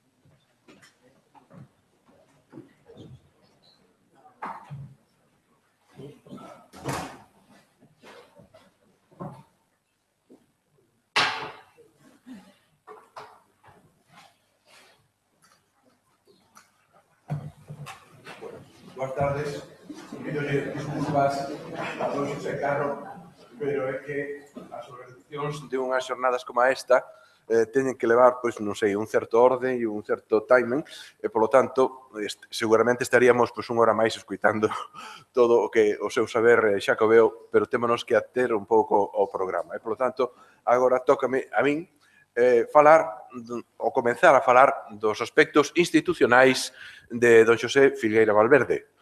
Eh, me, eh, vou falar do Seminario de Estudos Galegos, a primeira institución donde tivo un papel fundamental e protagonista. Comenzarei falando un pouco sobre os antecedentes do Seminario de Estudos Galegos. Cando se inaugurou a Galería Sargadelos en Santiago no ano 1977, Díaz Pardo a inaugurou con unha exposición sobre o seminario. E complementariamente a esta exposición editou un libro no Laboratorio de Formas, que tamén era dirixido por el, donde aparecían as testemunhas de todos os, os, os que foran membros do seminario e aínda vivían. Dentro destas testemunhas hai, hai unha que é moi interesante e que nos sirve moi ben de introdución, que é a de Francisco Fernández del Riego, porque nos fala dos antecedentes do seminario. De alguma maneira, por que xurdiu o seminario? En estes antecedentes, Fernando Fernández del Riego pon en primeiro lugar a Academia Galega, que foi creada en 1905 Ainda que el decía que estes primeiros anos eran unhos anos mm, asistemáticos desde o punto de vista metodolóxico e con unha expresión lingüística pouco clara. Pero aínda así estaba aí como unha institución que tiña ademais unha publicación periódica importante e que foi unha gran axuda para os membros do seminario. Dez anos despois, máis ou menos, xurden as Irmandades da Fala, e aquí xa o contido galeguista, a preocupación polos problemas de Galicia, os traballos eh, sobre a literatura, a etnografía, etc., eh, xa tiñan un contido moito máis mm, profundo, e, sobre todo, máis ou menos, eh, un pouco despois, o Grupo Nós de Ourense. En este sentido, estes, sobre todo estas dúas institucións, de alguma maneira, resumen eh, os alentos galeguistas que estaban xurdindo ao longo deste século e, ademais, tamén os traballos que se estaban a facer. Os traballos que se estaban a facer que, segundo Fernández del Riego, estaban polarizados desde o punto de vista etnográfico, desde o punto de vista folclórico, desde o punto de vista artístico e literario. E deixaban un oco, unha abano importante de especialidades, de traballos que aínda estaban por facer en Galicia. E aquí, de alguma maneira, remata os seus antecedentes. Decía, decía que aínda ficaba moito que facer e, polo tanto, ese oco, de alguma maneira, iba enchelo o seminario. De todas maneiras, pola miña conta, Creo que cando se fala dos antecedentes do Seminario de Estudos Galegos non podemos esquecer a Universidade de Santiago, porque os primeiros anos do Seminario de Estudos Galegos foron anos netamente universitarios. Incluso poderíase decir que case toda a súa vida, pero os tres primeiros anos, a propia orixe do seminario é unha orixe puramente universitaria. Polo tanto, dentro deses antecedentes, o que foi a Universidade de Santiago, o debir que tiña a Universidade de Santiago nestes tempos era moi importante. O que o quizáis o principal historiador da Universidade de Santiago, que foi Barreiro Fernández, nestes primeiros anos do século sitúa en 1922 o renacer eh, desde o punto de vista metodolóxico, desde o punto de vista cultural da Universidade de Santiago, e o sitúa fundamentalmente en 1922 cando se crean as facultades de Historia e Ciencias. Pero eu entendo que a Universidade de Santiago, como de alguma maneira todas as universidades españolas, toda a instrucción pública española, foi cambiando para ben ao longo deste século. Evidentemente, en 1922 hubo un salto cualitativo, pero realmente non se pode esquecer todo o alento do, regeneracionismo rexeneracionismo de finais de século que, de alguma maneira, estuvo influindo na Universidade de Santiago. Na Universidade en xeral, pero tamén na Universidade de Santiago, que no, o que nos interesa resaltar agora. A creación do Ministerio, tamén é moi importante un discurso que un santiagués de pro, como era don José Casares Gil, eh, deu na inauguración do curso de 1900-1901 en Barcelona, foi un discurso moi comentado no seu momento sobre o estado da universidade, a necesidade da súa regeneración e o modelo alemán como referencia fundamental.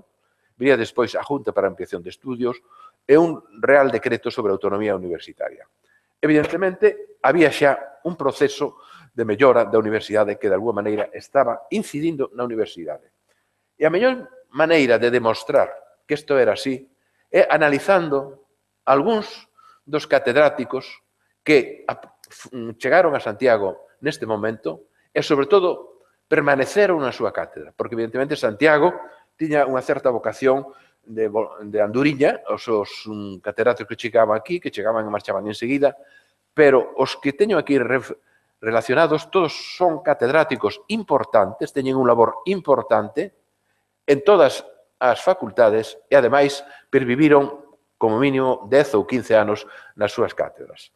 Temos aí a de Olofeu, o catalán de Olofeu en farmacia, en dereito a cabeza de León, en veterinaria a Gallego Canel, que chegou a ser discípulo e axudante de Cajal, en 1904 a Cotarelo Valledor, Blanco Rivero, García Varela, Nova Santos e Rodríguez Cadaso. Polo tanto, a miña maneira de ver é que hai xa un poñerse ao día da Universidade de Santiago, en ir adaptándose pouco a pouco, e sobre todo a testemunha destes catedráticos seguramente estaba deixando unhas pegadas que estaban pedindo unha continuidade estaban de alguma maneira incidindo desde o punto de vista pedagóxico e educativo nos novos estudantes. Pero tampouco podemos esquecer que en 1921 aparece a misión biolóxica, tamén un feito moi importante ligado á Junta para a Ampliación de Estudos, e xa fora de Santiago, teríamos que en Pontevedra aparece a Xuntanza de Estudos Galegos promovida por Castelao e Alosada Dieguez.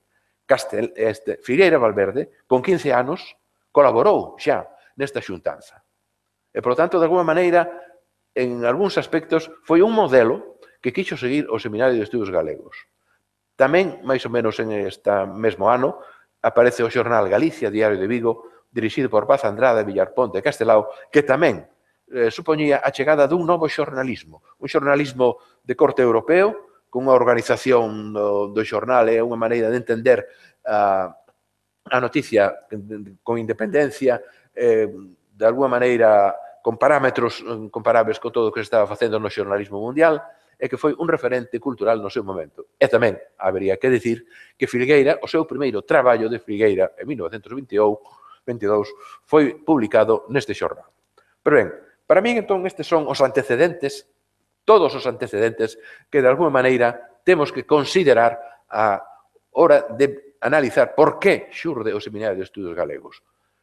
E xurde por un grupo, un pequeno grupo, nove estudantes, eh, moitos deles dos primeiros cursos, que fora do horario escolar falaban, da necesi falaban de temas culturais, evidentemente, pero pronto entenderon que aquelo tiña que ter unha estrutura organizativa e, polo tanto, había que buscar un centro que, de alguma maneira, lle dera forma a estas arelas.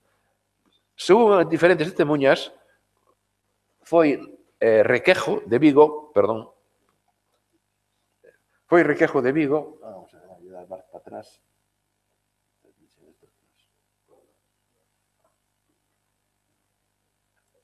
Donde se dá para atrás, ah, por para diante se andar, pero neste... Eh? Aí está. Ben. Non, estou dando para diante. Espera, hai que darlle para atrás. Teño que darlle para atrás. Eh, aquí. Non, tampouco. Onde se dá para atrás aquí? Ah, este para atrás, para atrás.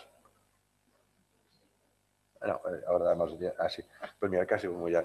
Ben, entón, eh, este era o grupo de estudantes que de alguma maneira tiñan estas inquedanzas. Naquela época, eh, Tobío, cando escribía da, da Universidade de Santiago, decía que había dous tipos de estudantes. A maioría, que eran estudantes, entre comillas, troianos, que pasaban pola universidade divertíndose máis ou menos procurando rematar a carreira o máis axiña que poideran, e despois outro pequeno grupo de estudantes con preocupacións culturais. Evidentemente, a este grupo era o que pertencía estes nove estudantes que foron os creadores e fundadores do Seminario de Estudos Galegos. Decíamos que o da idea, parece que foi Requejo de Vigo, pero quenes os secundaron e seguramente encheron de contidos foron os máis novos, que estaban en primeiro, que era mm, Martínez López, vaya, lo digo outra vez, Martínez López, Martínez López, Filgueira e, e Tobío. E Tobío. Non? Estes eran os máis novos, Despois estaba o máis veterano de todos era Bouza Brey, que estaba xa rematando a carreira, os outros tres estaban empezando a carreira de filosofía, e despois entre entres, entre estes había outros estudantes. Por lo tanto, estes nove tiveron esta idea. É un aspecto importante que seguramente hoxe non sucedería, eh, que entenderon que eles só non chegaban para poñer en marcha esta institución. Seguramente se hoxe sur de un grupo estudantes con unha idea, non se lle ocurre pensar nun catedrático para axudarlos. Pero eles sí, eles pensaron que para seguir adiante, para dar pasos máis seguros, necesitaban un persoeiro que lles orientara. En este sentido, mm, acudiron a don Armando Cotarelo Valledor. Don Armando Cotarelo Valledor era un catedrático mm, de lengua e literatura, deses catedráticos que citei hai un momento eh, importantes, con un contido cultural e un, un traballo profesional moi digno e ademais con unha vocación importante de permanencia na universidade, eh, que chegou a ser membro da Real Academia Española, que tiña unha vontade galeguista porque pertenceu ás Irmandades da Fala, e hai un aspecto que, que casi nunca se di da biografía de don Armando Catarelo Valledor, e a min interésame resaltalo, e é que foi socio fundador da Delegación de Santiago da Sociedade Española de Historia Natural en 1909. Que quere decir isto? Un espírito aberto, que non era só unha persoa dedicada á literatura ou ao dereito, como era a súa, eh, uh, senón que era unha persoa que estaba tamén preocupada polas ciencias, polas ciencias naturais. E, curiosamente, tamén Cabeza de León, que foi uh, outro dos presidentes do, do seminario, tamén foi outro dos socios fundadores que non eran científicos. Polo tanto, eh, este, este foi o que axudou o mentor a estes estudantes a darlle forma e nome incluso ao Seminario de Estudos Galegos. Hai diferentes relatos de como naceu este Seminario de Estudos Galegos. Estes relatos mm, concordan no esencial, pero teñen diverxencias moitas veces, porque casi todos son relatos axeográficos que de alguma maneira tratan de resaltar o significado posterior que tuvo o Seminario de Estudos Galegos e, polo tanto, eh, dalle moita importancia a determinadas cousas e a outras menos. Seguindo, perdón, Alfonso Mato, e seguindo a periodización que nos dá el, eh, realmente os pasos que se seguiron foi primeiro este, estas preocupacións deste grupo de estudantes, despois unha primeira xuntanza na casa de don Armando Catarelo Valledor que é esta casa de Concepción Arenal onde estiveron as Teresianas en Santiago, e que ademais, curiosamente, foi o propio don Armando quen diseñou a fachada, o sea que don Armando era un home moi polifacético, e, e aquí foi onde realmente empezaron don Armando a darlles as primeiras directrices. Primeiro nome. O nome de seminario tiña unhas connotación europeístas. En, Euro, en Europa falábase de seminario cando non só se ensinaba, senón que había unha vocación de divulgación unha vocación de chegar a moita xente, un tipo de traballo xa non tanto de clases magistrais, sino de diálogo, etc. etc. E despois tamén foi o que lle inculcou, según os propios protagonistas, o que se deu en chamar o espírito do seminario. E que era o espírito do seminario? Pois, en primeiro lugar, sempre lle deron, e Filgueira foi quizáis un dos que máis destacou, a relación do traballo interáreas. Dicir, que houbera un traballo interdisciplinario importante entre todas as disciplinas, que tuvera tamén unha vocación galeguista, polo tanto, un objetivo claro dedicado a Galicia, e despois unha capacidades de formar e divulgar todo o que ali se, se facía. Por, por, por lo tanto, o primeiro acto foi esta xuntanza na casa do don Armando, onde el lle deu as directrices básicas do que sería o seminario. Despois, máis adiante, xa o 12 de outubro, probablemente aproveitando as vacacións do Día do Pilar, pois decidiron darlle un contido, vamos a chamarlle simbólico, á creación do seminario, e foron en camiñata non os nove iniciais, senón só seis, a Casa Grande de Ortoño. Por que a Casa Grande de Ortoño? Porque ali pasara a súa nené Rosalía de Castro e, polo tanto, tiña un valor emblemático moi claro e sinalado. Entón foron ali e tomaron un acordo por escrito de facer xuntanza na Universidade Galega para dedicarse ao estudo da Terra. E moitos dos relatos, isto é o que aparece en primeiro lugar. Realmente isto é xa unha consecuencia de un traballo mm, de varios días xa ou incluso ás veces de, de meses eh, de preparación e de concienciación en relación co que tiña que ser o seminario. Despois desta mm, excursión á Casa Grande do Ortoño, houve dúas ou tres máis reunións na Casa de Don Armando, onde xa eh, se escribiron os estatutos, onde xa se declararon socios fundadores, etc. etc. Entón, aquí hai o que Alfonso Mato define como os inicios do Seminario de Estudos Galegos. Os tres primeiros anos do Seminario de Estudos Galegos. Mellor dito, quizáis, os tres primeiros cursos, porque realmente contábanse por cursos universitarios a vida do, do Seminario de Estudos Galegos. En estes tres primeiros cursos, eh, o local que tiñan era un local prestado, Era o local da Facultade de Filosofía e Letras. Utilizaban a súa biblioteca e as súas aulas.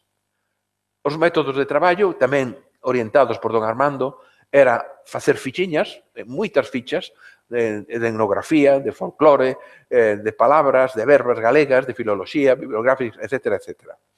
Este era o traballo que facía e o facían sobre todo na biblioteca. Pero despois tamén, tamén seguindo un pouco o modelo das academias, comenzaron a realizar os primeiros discursos de entrada no seminario. Un acto, en certa maneira, solemne que se celebraba nas aulas de Filosofía e Letras. Lóxicamente, o primeiro foi o do seu presidente, don Armando Cotarelo Valledor, que foi en outubro, ese mesmo mes de outubro de 1923, cando fixo o seu discurso. O que lle seguiu, inmediatamente, moi pouco despois, foi o de Filgueira. O segundo discurso de ingreso no seminario foi o de Filgueira. E despois xa viñeron Martínez López, Magariños, Tobío, etc. etc. Esta foi, de alguma maneira, a fundación. O que tamén é, é moi importante é ver que o, estes primeiros pasos do seminario que estaban recluídos nas facult na Facultade de Filosofía e Letras axiña empezaron a ter unha repercusión, unha valoración moi importante no resto do país. Eh, en primeiro lugar, os xornais de Santiago, el Compostelano, el Diario, el Eco, etc., foron recollendo os primeiros pasos, os primeiros traballos, pero é moi importante que coincidindo, non sei se isto é, eh, se ten algunha relación causa-efecto, pero coincidir, coincidindo co discurso de ingreso de Filgueira no Seminario de Estudos Galegos, Castelao publica o 3 de novembro, é dicir, que levaba prácticamente un mes de vida ao seminario, publica un dibuixo Eh, no, publica un dibuixo no, xor, no xornal mm, Galicia, onde dunha maneira solemne, eh, enfática, vai dirixido aos estudantes de Compostela e di, e, e pon os, os, um, os profetas do, da catedral e, un, e di Isaías, o povo que andaba en escuridades veo en vos gran luz, os que vivían en terra de sombra de morte, a luz replandeceu sobre eles. Dicir, é unha maneira simbólica de darlles a benvida e poñerlos en circulación mm, en toda Galicia de, desde o punto de vista de Castelao, dos dibuixos de Castelao, que tiñen unha gran mm, proxección, unha gran valoración neste xornal. Meses despois, hai un longo reportaxe no diario de, de Vigo, en, en Galicia, onde se describe eh, como traballa os membros do Seminario de Estudos Galegos. Titúlase Compostela e la Cultura. Como se trabaja en el Seminario de Estudos Galegos? Nel se describe, eh, primeiro, unha pequena entrevista con, con Cotarelo, o seu presidente, pero enseguida o propio Cotarelo os pon nas mans de Filgueira. Filgueira era realmente o delegado de información do seminario naquela altura. Entón foi o que vai conducindo ao reporteiro e lle vai explicando como van facendo todos os, mm, na, naquela altura, como van facendo como van traballando no Seminario de Estudios Galegos. El, de alguma maneira, de, decía neste, nesta, nesta reportaxe que os demás centros mm, que nos envidian, los demás centros parecidos de España. Esto en el nombre y en los frutos va pareciendo algo extranjero. Y asimismo indica, nosotros al crear este centro no vimos la magnitud de sus horizontes. El doctor Cotarelo sí, Él nos ha hecho ambiciosos, noble y generosamente ambiciosos en nuestra modestia. Neste mm, trienio, neste, nestes tres cursos, eh, o Seminario de Estudos Galegos foi medrando dunha maneira eh, moi importante. Dos nove socios fundadores iniciais, pois pasouse ao remate do terceiro curso a 76. E destos 76, eh, xa non é tan importante o número, que multiplica por oito os iniciais, senón, sobre todo, hai que ver os nomes. A nómina dos socios que en estes tres anos entraron no seminario. Pódese decir que todos os grandes intelectuais galegos e de espírito galeguista estaban xa no seminario. Para min, este é o milagre do seminario, que en tres anos, nove mozos, case imberbes, eh, poideran convencer a intelectualidade galega, prácticamente a intelectualidade, a totalidade da intelectualidade galega, para que entraran a traballar no Seminario de Estudos Galegos. Posiblemente, o seu mentor eh, Cotarelo tivo algo que ver. Probablemente que tamén o, o campo estaba de alguma maneira abonado para que nacer esta institución. Pero creo que tiña que haber algo máis, porque non é fácil de entender que en só tres anos de nove eh, socios descoñecidos prácticamente naquele momento pasárase a que todo o mundo intelectual galego, o máis importante, o máis granado do mundo intelectual galego, estuvera xa dentro do seminario. Despois virían as actividades, seguían os inventarios etnográficos, etc., etc., a lectura de traballos de ingreso, outros simplemente de traballos de presentación, etc., etc. As publicacións, naquel momento, naquela altura, dependían de outras institucións. O Boletín da Academia Galega, nós eran as plataformas onde publicaban, sobre todo, os membros do seminario. E só ao final deste período, xa no ano 1925, crearon o que lle chamaron a Biblioteca do Seminario de Estudos Galegos, en colaboración ca editorial LAR. Pois ben, o número un desta biblioteca foron os nenos tamén de Filgueira Valverde. Por lo tanto, de alguma maneira, hai que ver que nesta primeira xeira Figueira Valverde tuvo un protagonismo esencial. De feito, eh, Luis Tobío, cando comenta esta fotografía que está feita no, en 1925, xa este Cotarelo marchara a Madrid, por lo tanto, acababa de ser nomeado presidente cabeza de León, pois o grupo o trío dirigente do, ao que se refería Tobío era, evidentemente, o presidente, a Tobío e, por suposto, a Filgueira. Por lo tanto, este era realmente o motor que, de algún xeito, puxo en marcha esta institución que despois foi un exemplo e algo totalmente que todo o mundo no, no tempo que lle tocou convivir co seminario, pero despois considerou como algo exemplar e que de alguna forma único casi en España. Eh, seguindo a um, Alfonso Mato, verían despois dous períodos, o de consolidación e o tempo na que a partir de 1981 define el como da República. Eu vou xuntalos todos porque non quero facer unha un traballo, digamos, a chamar extenso do que foi o seminario, senón resaltar aqueles aspectos de Filgueira dentro del Entón, neste período de 10 anos que vai de 1926 a 1936, cambiou a sé do seminario, xa deixou, deixou de estar na Facultade de Filosofía e Letras, pasou a estar primeiro no Colexio de San Clemente, é dicir, onde está hoxe o Rosalía de Castro, e despois no, no local que tivo o final da súa vida ah, a, no Pazo de Fonseca.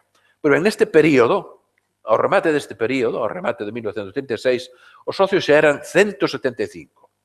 92 xa tiñan o discurso de ingreso presentado, lido, mellor dito. Pero, sobre todo, había unha cuestión nova, que eran os socios protectores, porque, evidentemente, o seminario tiña xa necesidades económicas.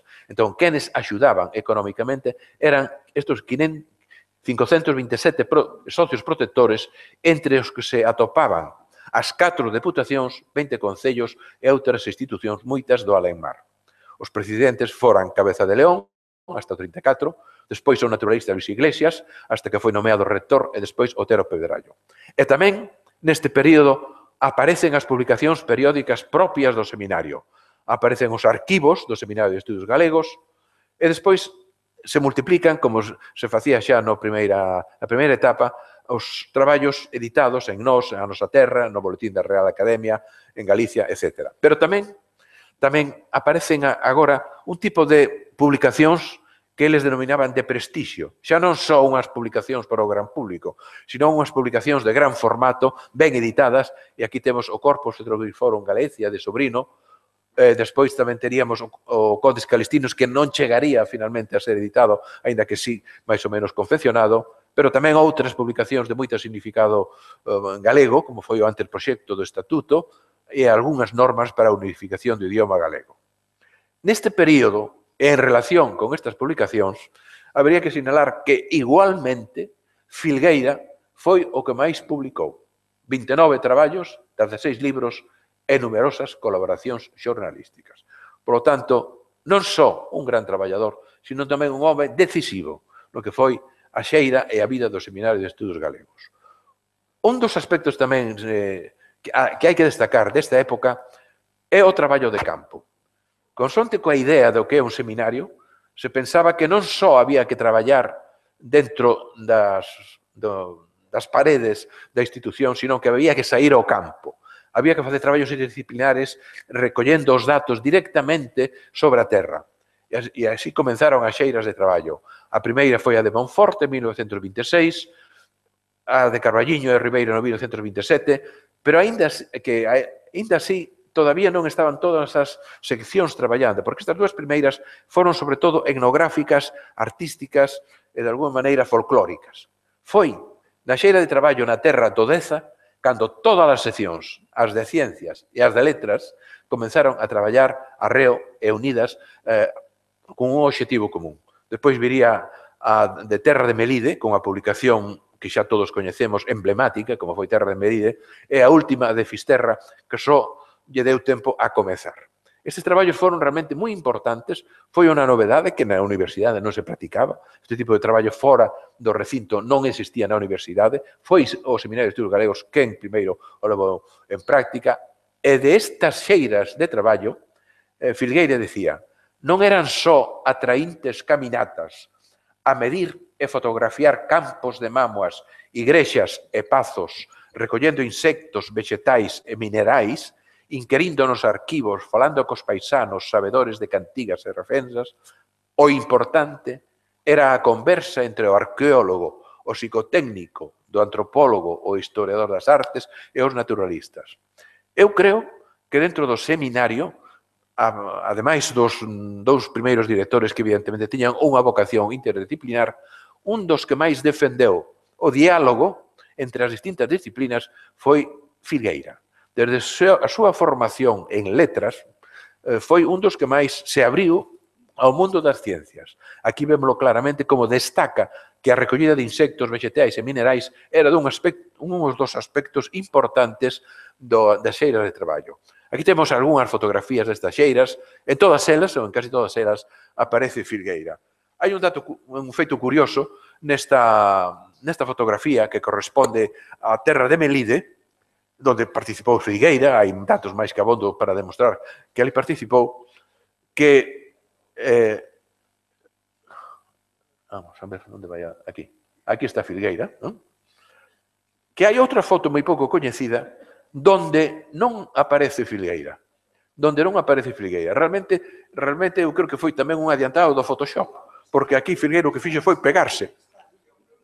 Non, está aquí, pero está pegado. Está aí, pero está pegado. A foto original non, non aparece Filgueira. Porque, porque Aina, Aina, hai a foto, é moi pouco coñecida, pero eu atopei esa foto original. É claramente, ademais, vese, Pois exactamente, pero é a mesma foto. O que, a máis vese claramente é o único que non está mirando a cámara. O sea, pero de todas maneiras, aínda que non, es, non aparecera na foto, claramente Filgueira participou desta xeira da, en terra de Melide. Outros, outros, mm, outras actividades tamén desta, desta época eh, que ten, tiñan xa un senso xa máis de vocación de exteriorizar eh, do seu traballo foi a Semana Cultural Galega en Oporto. Eh, esta excursión en Guimarães, non sei se pertence a esta xeira ou a outras eh, que se fixeron no seu momento, un curso de extensión cultural en Pontevedra, e despois colaboracións con outras institucións de moito prestixio, como foi a JAE naquel momento, a Comisión de Estudios en Galicia da JAE, nas misións de Santa Tegra, Montalegra, Sabiñao e nos Ancares, o gran colaborador foi o Seminario de Estudios Galegos. E así mesmo, perdón, e así mesmo, o Instituto de Estudos Regionais que creou a Universidade de Santiago creouse para algúns por inspiración do propio rector eh, nese momento, pero para outros foi o propio seminario que de alguma maneira deu a idea, pero en calquera caso, o que sí parece evidente é que os grandes traballadores, os grandes impulsores, unha vez que foi creado o Instituto de Estudios Regionales, foron os membros do seminario. Finalmente, dentro desta, eh, desta etapa, habría que sinalar que Filgueira promoveu tamén que tamén esa idea da divulgación en Filgueira estaba moi marcada e o seminario foi unha plataforma importante para levar isto adiante. A proposta de Filgueira de crear unhos manuales do Seminario de Estudos Galegos que non se chegaron a realizar, pero a propia idea e o carácter interdisciplinario destes manuais tamén son moi claros de cal era o talante intelectual, cultural, aberto e poligráfico de, de Filgueira. Vemos que, evidentemente, ao par da, da arte, da literatura, está a fauna, a flora e a xea.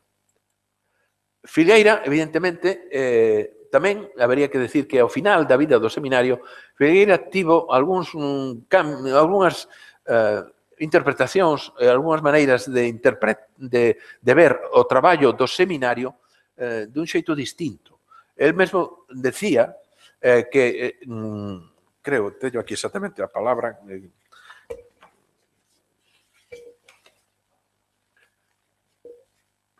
que o Seminario de Estudos Galegos pecaba de etnografismo agudo e de hipertrofia folclórica. É dicir, defendendo unha vez máis que a, os seminarios do galegos tiñan que ter un talante moito máis aberto, moito máis integrado de todos os ámbitos do saber.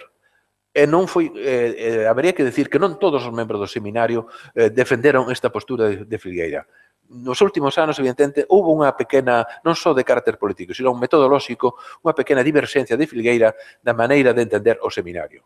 Pero xa, para non alongarme demasiado, vamos ao episodio final a incantuación do Seminario de Estudos Galegos, co pronunciamento militar do 36. Como consecuencia deste pronunciamento, 77 socios foron fusilados, represaliados ou exiliados. O los cais Seminario de Estudos galegos estivo pechado, só don Xesús Carro o atendía, o cuidaba e impedía que aquelo se perdera.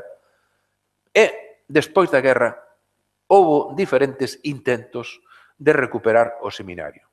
Aquí nesta foto, que non que é posterior, corresponde a unha homenaxe que se fixo a don Xesús Carro na Fundación Otero Pedrallo, pero que ten interese porque prácticamente todos os protagonistas de este intento de recuperación do seminario están aquí presentes. Está Sánchez Cantón, está don Xesús Carro, está Moralejo, está Pedret, está, por suposto, Filgueira, e tamén está Otero Pedrallo e Bouza Brei.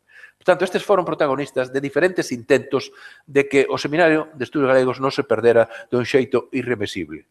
Pero realmente, ao final, o 4 de abril de 1940, o rector Rui del Castillo xunta no seu despacho a varios membros do seminario e lles di que queda incautado por orden gubernativo. E aquí se di que Otero Tero Pedallo pronunciou laiándose, Oxe, enterramos o seminario.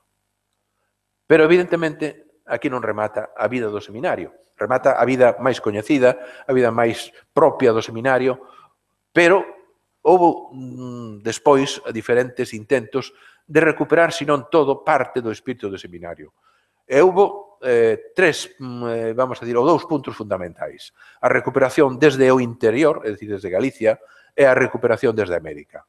A recuperación desde o interior eh, foi a que, de alguma maneira, propiciou Filgueira, Don Xisús Carro, etc., etc., e utilizaron o poder que nese momento que tiña Sánchez Cantón en Madrid para que o recén creado, acabado de crear o organismo do Consello Superior de Investigacións Científicas acollera o Seminario de Estudos Galegos, o, o, o novo Instituto de Estudos Galegos eh, dentro do seu seno. O nome do seminario desapareceu porque realmente daquela xa todo o que se integraba no Consejo tiña que ser un instituto E, según testemunha do propio Filgueira que reproduce Díaz Pardo, en unha conversación que sostuvo en Santiago Filgueira en 1943 con José María Alvareda, que era o director del Consejo, le bastó un minuto, según reza el testimonio, para convencerlo de la oportunidad de crear un Instituto de Estudios Gallegos en el seno del CSIC. En o no ano 1943 creábase o Instituto Padre Sarmiento de Estudios Gallegos, adscrito ao Patronato Brede Cipelayo, e creábase precisamente coa idea de continuidade. Unha idea, un, un testemunho moi claro é o propio ministro de Educación nese momento, que decía no, no discurso de inauguración do Instituto mm, Padre Sarmiento que viene a continuar la precursora labor erudita del antigo Seminario de Estudos Galegos. Inicialmente o grupo de Ourense, o grupo de Otero Pedrallo, etc., eh, foi reticente a entrar no, no, no seminario, pero pouco a pouco, quizáis pola labor de convencemento de Bouza, e se integrou no seminario, perdón, no Instituto uh, Padre Sarmiento. Desde América tamén houbo intentos de recuperar os seminarios de estudos galegos. Foi unha das teimas prácticamente desde que se exiliaron en América que se intentou recuperar os seminarios de estudos galegos. O propio Castelao, de alguma maneira, tentaba moderar o entusiasmo de estes promotores dicindo que aquilo era moi difícil. Moi boa idea de refacer en Bos Aires os seminarios de estudos galegos, pero compre andar con moito tento a fin de proseguir filialmente a laboura da nosa mellor institución da cultura. E tamén, quizáis desde América, viñeron as maiores críticas fronte ao Instituto Padre Sarmiento, que se miraba como unha especie de usurpador de alguma maneira do espírito do seminario. O propio Castelao, un ano antes de morrer, decía, dirixíndose ao padre Sarmiento, os que o, supla, o, os que o suplantaron pondo a nosa cultura nas fauces dun estado devorador. Pero tamén esta, este impulso americano pronto entendeu que se si se intentaba recuperar o seminario non se podía recuperar desde América. Había que recuperalo dentro de España. Entón, houve un intento no ano 1956 con esta idea de intentar eh, recuperalo desde Galicia, de crear en en Galicia unha institución semellante á que existía en América, que era a Asociación de Universitarios e Estudantes Americanos, para que, de alguma maneira, eh, desde o punto de vista cultural e intelectual, empezara a reproducir a labor dos seminarios de estudos galegos. Falouse, con a axuda de Díaz Pardo, Antonio Baltar falou con Gallastegui, con Parga, con Paz Andrade e Martínez Risco, para que publicaran determinados libros e, con, e a partir deste xermolo, de alguma maneira, foran nacendo o novo seminario desde Galicia.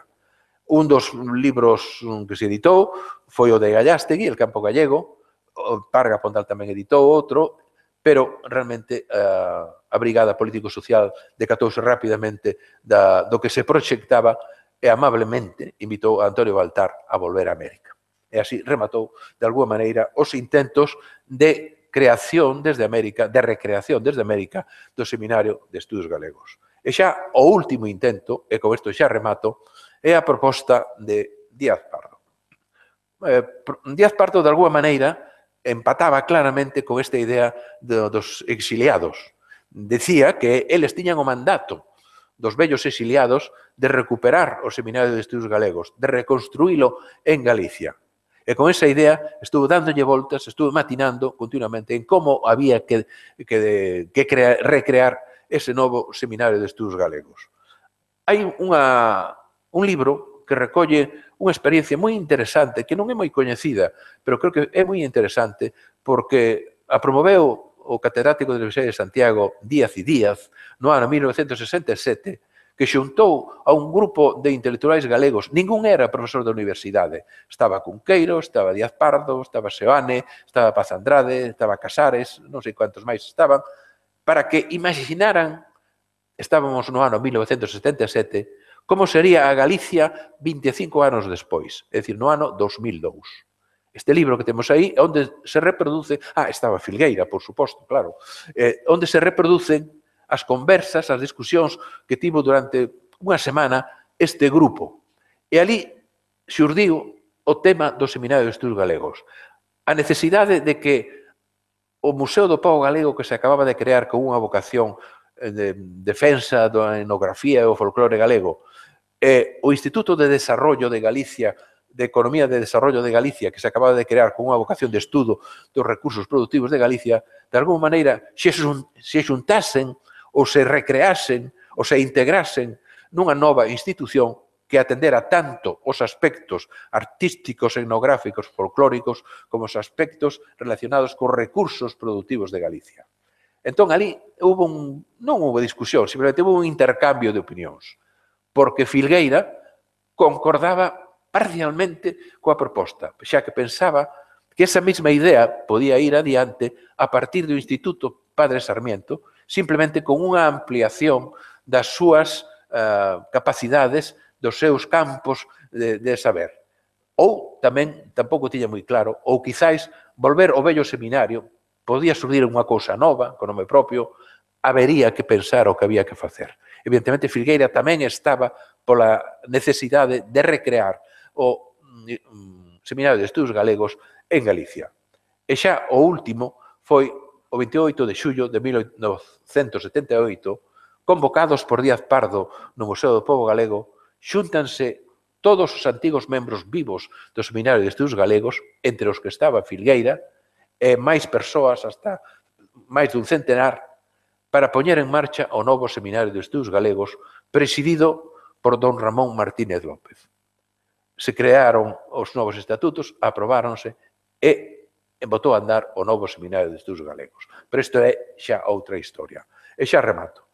Eh, de alguma maneira, o que quixen de alguma forma presentar é esta institución exemplar, que foi un modelo de traballo para Galicia eh, que tivo a súa vida, que tivo os seus intentos de recuperación nas, na, nos propios días actuais que, que nos tocou a nos eh, vivir, eh, de alguma maneira foi algo fundamental na vida de mm, Filgueira, porque Filgueira Valverde non só foi eh, un dos fundadores, quizáis un dos máis importantes animadores dos seminarios galegos, senón que co seu traballo, coa súa ilusión, coa súa maneira de entender o traballo interdisciplinar, algo que vivía moi fondamente eh, Filgueira, creo que foi un dos que mellor recolleron e recrearon o, o espírito do seminario de Estudos Galegos. Moitas grazas.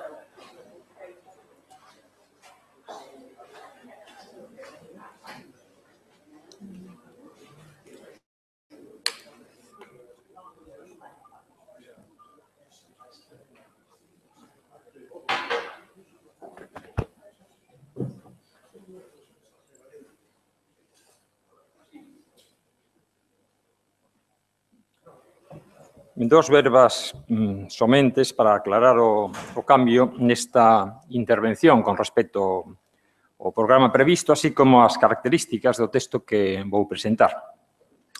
Por mor da ausencia de Eduardo Pardo de Guevara, hoxe, fora de Galicia, vou ser eu quen dé lectura ao texto que el tiña preparado. Lóxicamente, podría facelo calquer membro do Consello designado polo presidente, Pero, dado o vencellamento do homenaxeado co noso instituto, pareceunos máis axeitado que houbera neste acto unha certa implicación institucional. O que justifica a miña presencia aquí como vicedirector do Instituto de Estudios Galegos, Padre Sarmiento. Ademais, eh, o comprobei nas dúas intervencións anteriores, isto dame a oportunidade de disfrutar, ao menos dunha parte deste excelente congreso que amosa da mellor maneira posible a poliédiga personalidade de Filgueira Valverde.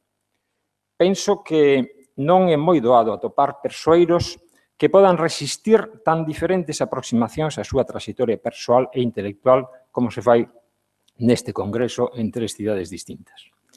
Respecto ao texto que vou ler, pareceme necesario salientar que é un resumo do que se publicará no seu momento, moito máis desenrolado, e cos pertinentes apéndices cos documentos nos que se basean as afirmacións aquí contidas. E xa, sin máis adiamento, paso ao escrito de Eduardo Pardo de Guevara, director do Instituto de Estudios Galegos Padre Sarmiento, titulado El Instituto de Estudios Gallegos Padre Sarmiento, la recuperación de la memoria, mi homenaje a Filgueira Valverde. El fallecimiento de don José Fernando Filgueira Valverde, ocurrido en Pontevedra el 13 de septiembre de 1996, puso fin a una de las más brillantes y fecundas biografías de la humanística gallega y también de muchos de sus aspectos de la propiamente española. Hace muchos años ya tuve mi primer contacto personal con él, merced a la vieja amistad que mantenía con mi padre. Desde entonces me convertí en uno de los receptores de sus puntuales felicitaciones navideñas, siempre personalizadas con finos y afectuosos comentarios. Con el paso del tiempo recibiría otras muchas y muy variadas expresiones de consideración y afecto. Tras mi llegada a Santiago, donde Filgueira me acogió con su acostumbrada afabilidad, nuestras conversaciones se hicieron más frecuentes. Gracias a ellas, hay dos gestos suyos que me han que me consta muy bien que siguen siendo motivo de mi gratitud. El primero se refiere tanto a la satisfacción que le produjo mi traslado al Instituto de Estudios Gallegos Padre Sarmiento a comienzos de 1994, como al autorizado respaldo que prestó poco después a mi nombramiento como director. El segundo se refiere ya a su preocupación por el futuro de este emblemático centro que él había ayudado a fundar o refundar, como recordaré a continuación, y que él mismo dirigió de manera efectiva durante un complicado pero fructífero periodo. En este sentido, me complace añadir que, haciendo valer su condición de director honorario, Filgueira apoyó ante las más altas autoridades del Consejo Superior de Investigaciones Científicas y de la Junta de Galicia mis propios argumentos respecto a la potencialidad del Instituto Padre Sarmiento y, consecuentemente, recomendó la necesidad de proceder a una redefinición institucional que garantizara la calidad y continuidad de sus actividades, así como su proyección de futuro. La materialización de todos esos empeños, como fácilmente puede comprenderse, no fue tarea fácil, pues estuvo salpicada de dificultades e incomprensiones de diversa naturaleza y alcance. Pero esta es una historia reciente que no viene al caso y la sospecho además sobradamente conocida. No me cumple ni me parece necesario tampoco loar aquí los detalles de la deslumbrante trayectoria intelectual de Filgueira Valverde, tan justamente reconocida a lo largo del presente año por iniciativa de la Real Academia Gallega. Sin embargo, sí creo oportuno destacar que en la persona del homenajeado se vieron retratados, o acaso calculadamente emulados, tantos y tantos perfiles del aletófilo, o amador de la verdad, imaginado por el padre Sarmiento.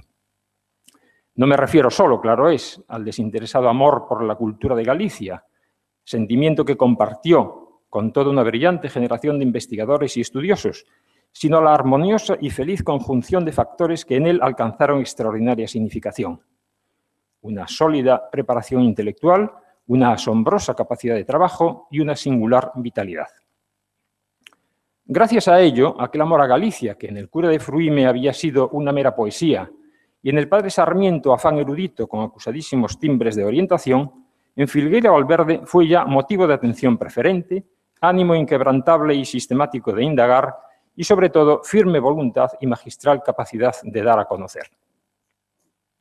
El testimonio incontestable de esta rotunda afirmación puede encontrarse tanto en el volumen como en la propia profundidad y carácter multidisciplinar de su obra, que abarcó temas tan dispares como la lengua y la literatura, la etnografía, la historia, el arte o la propia arqueología. De este ingente e importantísimo legado, cuyo referente común es naturalmente Galicia, hay puntual y exacta referencia en el libro preparado por José Fontes Alende, secretario del Museo de Pontevedra, que le fue ofrecido por sus discípulos con motivo de sus 70 cumpleaños bajo el título Bibliografía, cursos, conferencias y currículum de José Filgueira Valverde. Y en el otro, que le ofreció con carácter póstumo la Caixa de Aforros de Pontevedra y que lleva por título o doctor Filgueira Valverde, nos seus 90 anos. Hace ya algún tiempo me ocupé de valorar las valiosas aportaciones de Filgueira Valverde en el ámbito de la literatura medieval galaico-portuguesa y del pasado histórico de Galicia. Apunté ya entonces otra importante parcela de su vida intelectual que hoy quiero resaltar adecuadamente. Me refiero a su protagonismo como promotor de todo tipo de proyectos culturales e iniciativas científicas. Bien conocida fue su presencia activa y tantas veces rectora, certera y utilísima siempre en cuantas iniciativas culturales de envergadura hubo en Galicia desde los años 20 del pasado siglo. Por eso, él fue memoria viva de la historia del Seminario de Estudios Galegos, del Instituto de Pontevedra y de su Museo Provincial, del Instituto de Estudios Gallegos Padre Sarmiento, de la Fundación de los Bibliófilos Galegos, del Museo do Povo Galego y en sus últimos años ya, como recordarán muy bien, de este mismo Consello de Cultura Galega, en cuya presidencia sucedió al respetado don Ramón Piñeiro.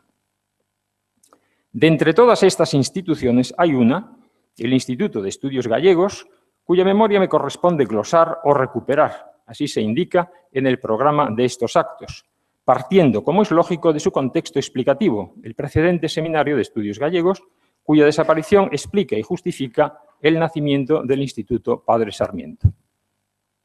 Hoy acostumbra repetirse, se tiene incluso por cierto, que el Seminario de Estudios Galegos fue prohibido e incautado por las autoridades del nuevo régimen. Esta afirmación, que es notoriamente ambigua, por imprecisa, se completa con el supuesto más verosímil, pero igualmente impreciso, de que el motivo fue su identificación co galeguismo, co autonomía e coa república. Mi intención, como es natural, no es suscitar un debate en torno a este asunto tan específico, pero sí aludir a la documentación referida a aquel momento final, escueta pero reveladora, donde no hay ni un solo dato concreto o mero indicio que permita precisar que las razones de la liquidación del seminario fueran en esta única dirección.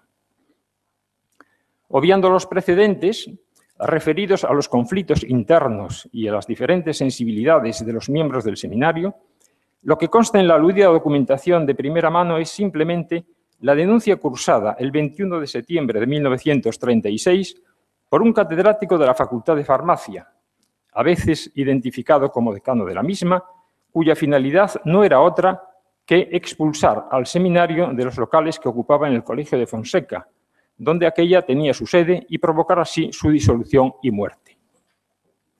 Esta doble apreciación la transmite Jesús Carro, secretario de la institución y testigo directo de aquellos acontecimientos, quien añade que el mencionado catedrático, al ver que no prosperaba su primera denuncia, Volvió a insistir en la misma dos semanas después, el 5 de octubre, aunque una vez más sin ningún éxito, pues el comandante militar de la plaza había quedado plenamente convencido de la perversa intención del aludido catedrático.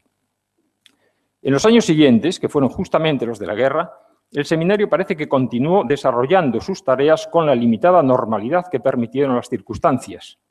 De ello da fe, una vez más, Jesús Carro en la memoria que redactaría tiempo después el 14 de julio de 1941.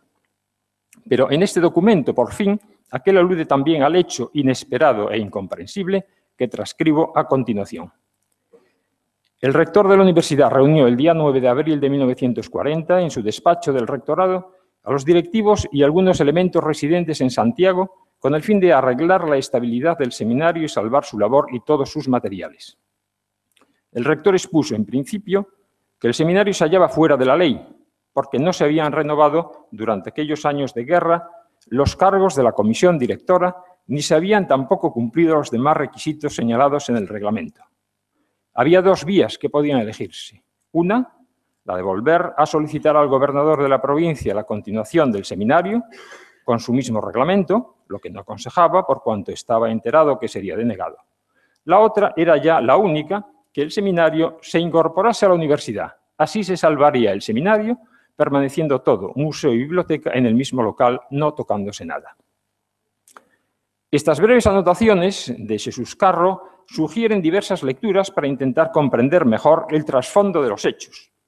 Entre ellas, claro está, figura la debilidad política de quienes representaban al seminario en aquel momento, lo que dio fuerza incontestable a la propuesta del rector compostelano, esto es, justamente, la supuesta y ya señalada identificación del seminario con galeguismo, con autonomía y con república.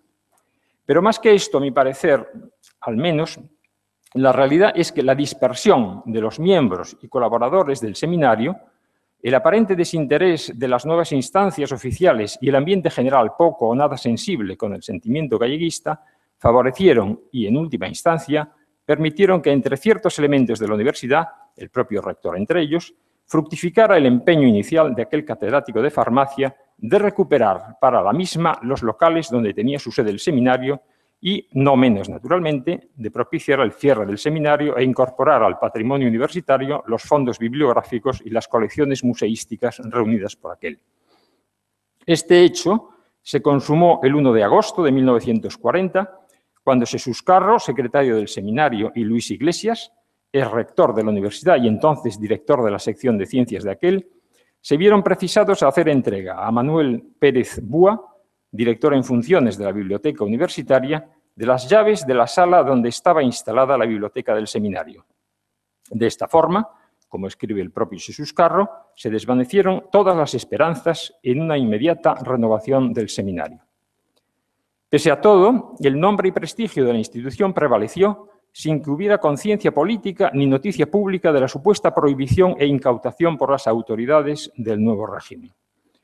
Así, por ejemplo, Seis meses después de los hechos relatados, el 11 de febrero de 1941, el secretario provincial del Servicio de Artesanía de FED y de las JONS, que lo era Emilio de la Iglesia Caruncho, solicitaba al ilustrísimo señor presidente del Seminario de Estudios Gallegos, mediante el oportuno oficio, la redacción de un informe que permitiera fijar en Santiago la capitalidad artesanal de España, dando por supuesto, además, que con tan prestigiosa colaboración, se podría dar cuenta a la Delegación Nacional del Servicio de Artesanía de tan afamadas industrias como las del azabache, entalladores, tejedores, encajes, etc.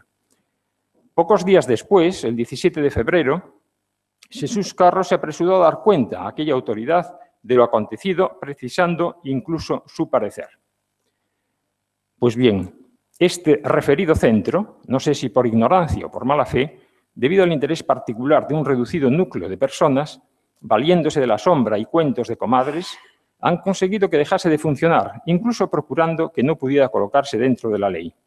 Y al hallarse ahora en esta posición, usted comprenderá la imposibilidad de que dicha corporación pueda emitir informe alguno, aun cuando el que se le pide reunía las mejores condiciones para el caso. Sirva, por lo tanto, esta carta de amigo, como confidencial, a fin de que usted manifieste de la mejor manera a esa entidad la causa por qué no ha enviado su informe, el que hasta el último año pasado se llamaba Seminario de Estudios Gallegos. Ante ello, el mencionado secretario provincial del Servicio de Artesanía de FED y de las JONS respondería a Jesús Carro unas semanas después, el 26 de marzo, lo siguiente. Lamento infinito que tan prestigiosa y benemérita entidad como el Seminario de Estudios Gallegos no se encuentre en plena actividad, sino por el contrario, la hayan privado de su normal funcionamiento. Haré saber a la jefatura provincial que el primer centro provincial de tan probada capacidad, con copioso archivo y ya famosos investigadores, no puede ayudarnos en nuestra labor, abogando porque esta anómala situación se termine para bien de la cultura patria. Esta respuesta, en la que aquella autoridad sindical insistía todavía en la solicitud de algunos dibujos y fotografías, confirmó a Jesús Carro que los motivos que habían conducido a la liquidación y entrega del seminario no eran de carácter exactamente político ni ideológico, sino de orden doméstico. Pocos meses después, el 17 de junio de aquel mismo 1941, se lo confirmaba a Manuel Chamoso Lamas al achacar los hechos acaecidos el año anterior a los enemigos del seminario. Su ideal, dice, es hacer morir esta institución que honraba a su tierra. Nos odian todavía porque se les demostraba que sin necesidad de ellos sabíamos trabajar. Conseguirán, no lo dude, su anhelo. Así ya no tendrán envidia de nuestros trabajos y podrán descansar tranquilamente, panza arriba, como verdaderos zánganos. Unos meses más tarde, el 29 de noviembre, en carta a José Ramón Fernández Osea, Benchosei, incidiría de nuevo en el tema al recordarle los motivos de la actitud de la universidad. Se han apoderado de las llaves, que era lo principal para considerarse herederos de las cosas, y que se pudran, ya no les importa.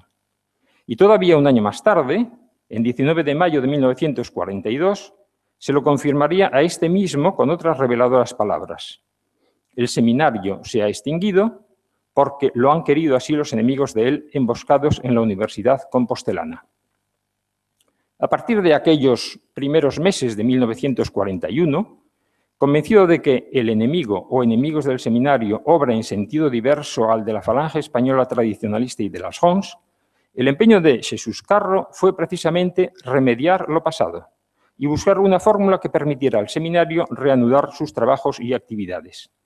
De ahí sus primeras propuestas en esta dirección, entre las cuales figuraba el deseo de conservar el nombre del seminario que había sido aprobado en tiempos de la monarquía, y la incorporación del mismo, para su seguridad, en uno de los institutos de investigación creados entonces, particularmente el que mejor encuadrase con las actividades del seminario. Y eso fue, a grandes rasgos, lo que ocurrió ya desde el mes de enero de 1941, Jesús Carro había iniciado contactos con Cayetano Mergelina, por entonces vinculado al naciente Instituto Diego Velázquez, interesándose por la posibilidad de formar con el seminario una sección dentro del nuevo centro. En estas gestiones intervinieron también otros viejos seminaristas, entre ellos Filgueira y sobre todo Francisco Javier Sánchez Cantón, vinculado también al Diego Velázquez.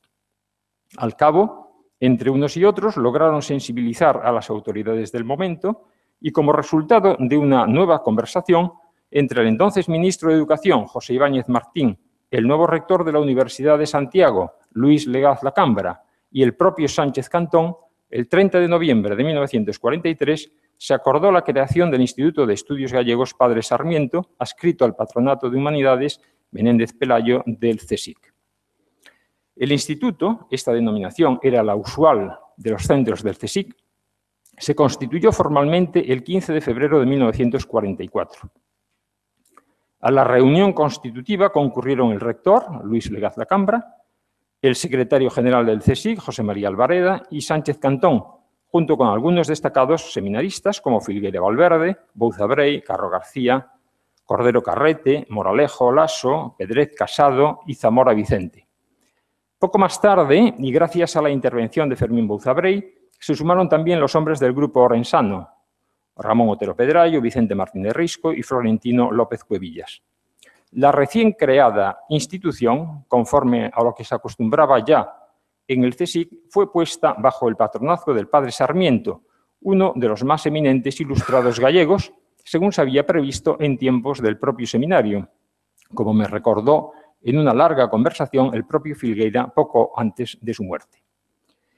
Y de acuerdo con este espíritu de continuidad, se ordenó a la Universidad Compostelana la devolución del conjunto de bienes de aquel que, sin embargo, retornaron ya sensiblemente mermados. Un año después de su constitución, el instituto se instaló provisionalmente en los bajos del número 6 de la Rua Nova en Santiago y allí permaneció bajo condiciones nada favorables para el desarrollo de su actividad hasta 1946. Tras diversas gestiones por orden del Ministerio de Educación y Ciencia, el 10 de noviembre de 1944 se cedió para su adecuación como sede del instituto del edificio contiguo al Colegio de Fonseca, construido a comienzos del 18 para acoger la biblioteca de este. Tras su rehabilitación, los nuevos locales fueron inaugurados solemnemente el 3 de septiembre de 1946 con la asistencia del ministro de Educación, Ibáñez Martín, el rector de la Universidad de Santiago y el secretario general del CSIC. De los discursos pronunciados en aquella ocasión, interesaco la referencia que el rector compostelano hizo al seminario. Desde que hace cuatro años me hice cargo del rectorado, me preocupó la suerte del desaparecido Seminario de Estudios Gallegos. Yo no sé si en su seno se hizo alguna vez política, Puede que en algún momento alguno de sus hombres lo hiciera, dentro o fuera, por su cuenta o por cuenta del seminario. Pero lo que sí sé es que en esta institución se hizo una labor positiva de investigación de la historia, de la literatura, de la antropología y de la geología de Galicia, y esta labor positiva no se debía perder. También sé que el seminario poseía un enorme valor de proyección sentimental en la región, y lo que para mí es más importante, en la América española, que en una parte muy considerable es una América gallega. Y de esa América yo había recibido cartas dolientes en las que la lejanía física de quienes las escribían acentuaba la nostalgia por la obra que creían definitivamente perdida e incluso influía en la deformación de lo que creían motivos de esta pérdida. Se imponía, pues, salvar lo que merecía ser conservado. En lugar de ser una obra de inspiración puramente localista, los estudios gallegos debían integrarse en el ámbito de la investigación nacional, conservando su propia fisonomía.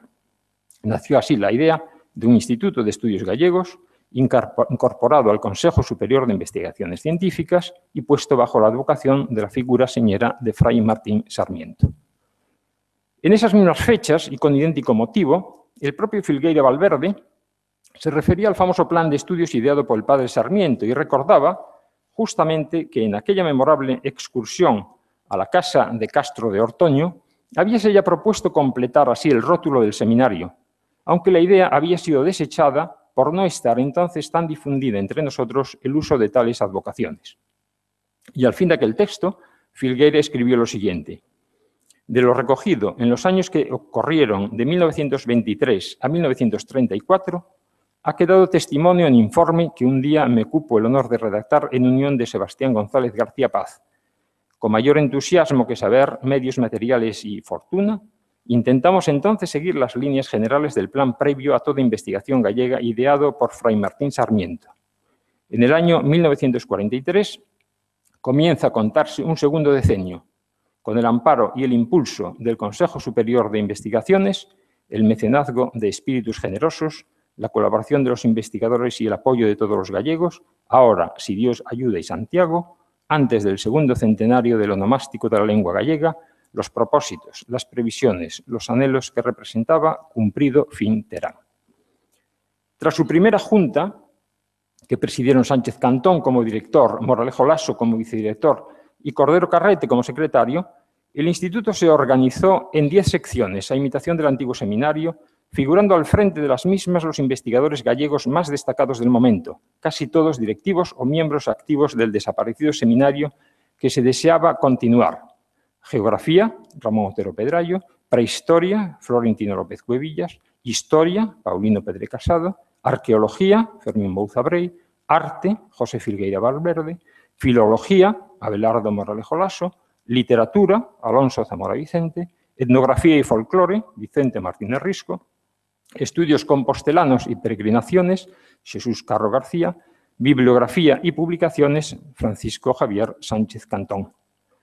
El cargo de conservador lo ocupó además Jesús Carro García y el de bibliotecario Antonio Fraguas Fraguas.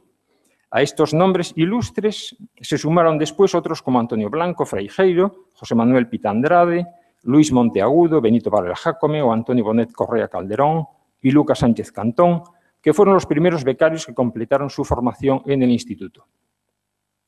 En el año 1949, tras una reforma general del patronato Menéndez Pelayo, se redujo el número de secciones a dos, dirigidas por Francisco Javier Sánchez Cantón y Paulino Pedro Casado, quien pasaría a ocupar la vicedirección del instituto, cargo en el que le sucedería después José Filgueira Valverde y Ricardo Carballo Calero.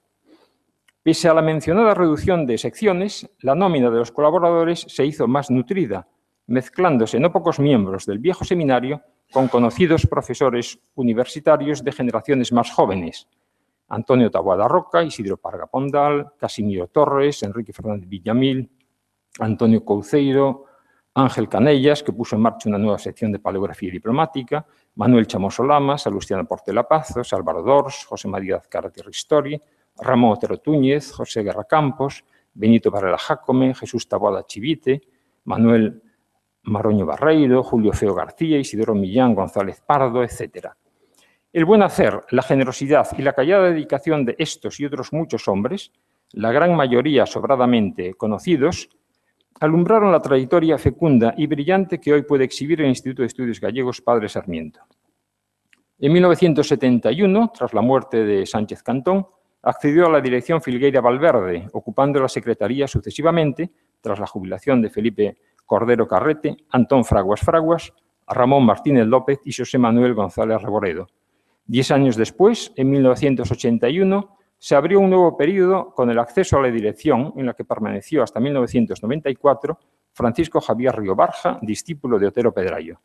Con él figuraron Carlos Amable Baliñas Fernández como vicedirector y José Ramón Barreiro Fernández y Carlos Otero, que fueron los sucesivos secretarios. Junto a ellos figuraría una larga nómina de los que coordinaron sus secciones o participaron en sus actividades, ejerciendo a veces funciones directivas, como Carlos García Martínez, Fernando Cuña Castroviejo, Felipe Arias Vila, Socorro Ortega Romero. Todos ellos, como en el caso de muchos de los citados anteriormente, se formaron también en el seno del Instituto y en los mismos ideales de amor a Galicia la investigación en los temas gallegos que fueron la razón sustantiva del viejo e ilustre seminario. La historia del Instituto Padre Sarmiento es sobradamente conocida, como lo son también sus importantes aportaciones científicas y culturales a lo largo de una trayectoria que supera ya las siete décadas. Por eso, en esta breve glosa, no he considerado oportuno incluir los detalles de unas y otras y sí, por el contrario, recuperar la memoria o dejar constancia precisa de cuál fue su origen y acontecer institucional y de quiénes fueron los hombres que lo promovieron y sostuvieron. El protagonismo de esas sucesivas generaciones en la vida del Instituto Padre Sarmiento concluyó en 1994, cuando este último inició una etapa nueva, diferente, pero quiero creer que de no menor entidad. De cualquier forma, hoy como ayer, el Instituto de Estudios Gallegos Padre Sarmiento permanece fiel al honroso legado recibido y por lo mismo se esfuerza también en seguir siendo un punto de referencia inexcusable en la vida científica y cultural de Galicia, empeño bien difícil, por fortuna, dada la actual realidad marcada por el permanente florecimiento de instituciones y actividades. Pese a todo, el número y irregularidad de las actividades investigadoras, culturales y publicistas del padre Sarmiento creo dan idea clara del rumbo retomado en estos dos últimos decenios y de las metas que desea alcanzar en los ámbitos científicos que ahora le son propios. Moitas gracias no nome de Eduardo Pardo Guevara.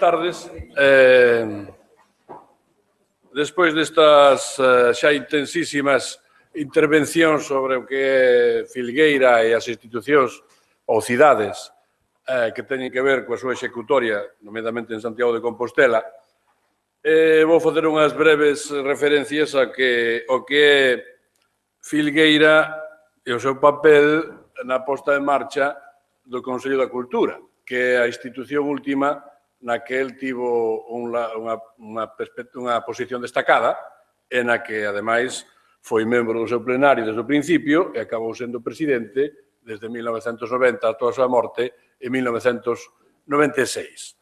Eh, non vou insistir xa moito no que é a propia figura de, eh, de Filgueira. Aquí eh, quero comezar con unhas verbas, unhas con, con unha definición que del dá o propio Otero Pedraio cando se refire el como unha figura lanzal de céltiga bidueira, cual quere decir que non só polo seu aspecto físico, sino polo que el supoñía eh, de enraizamento nunha tradición cultural atlántica ou mesmo céltica.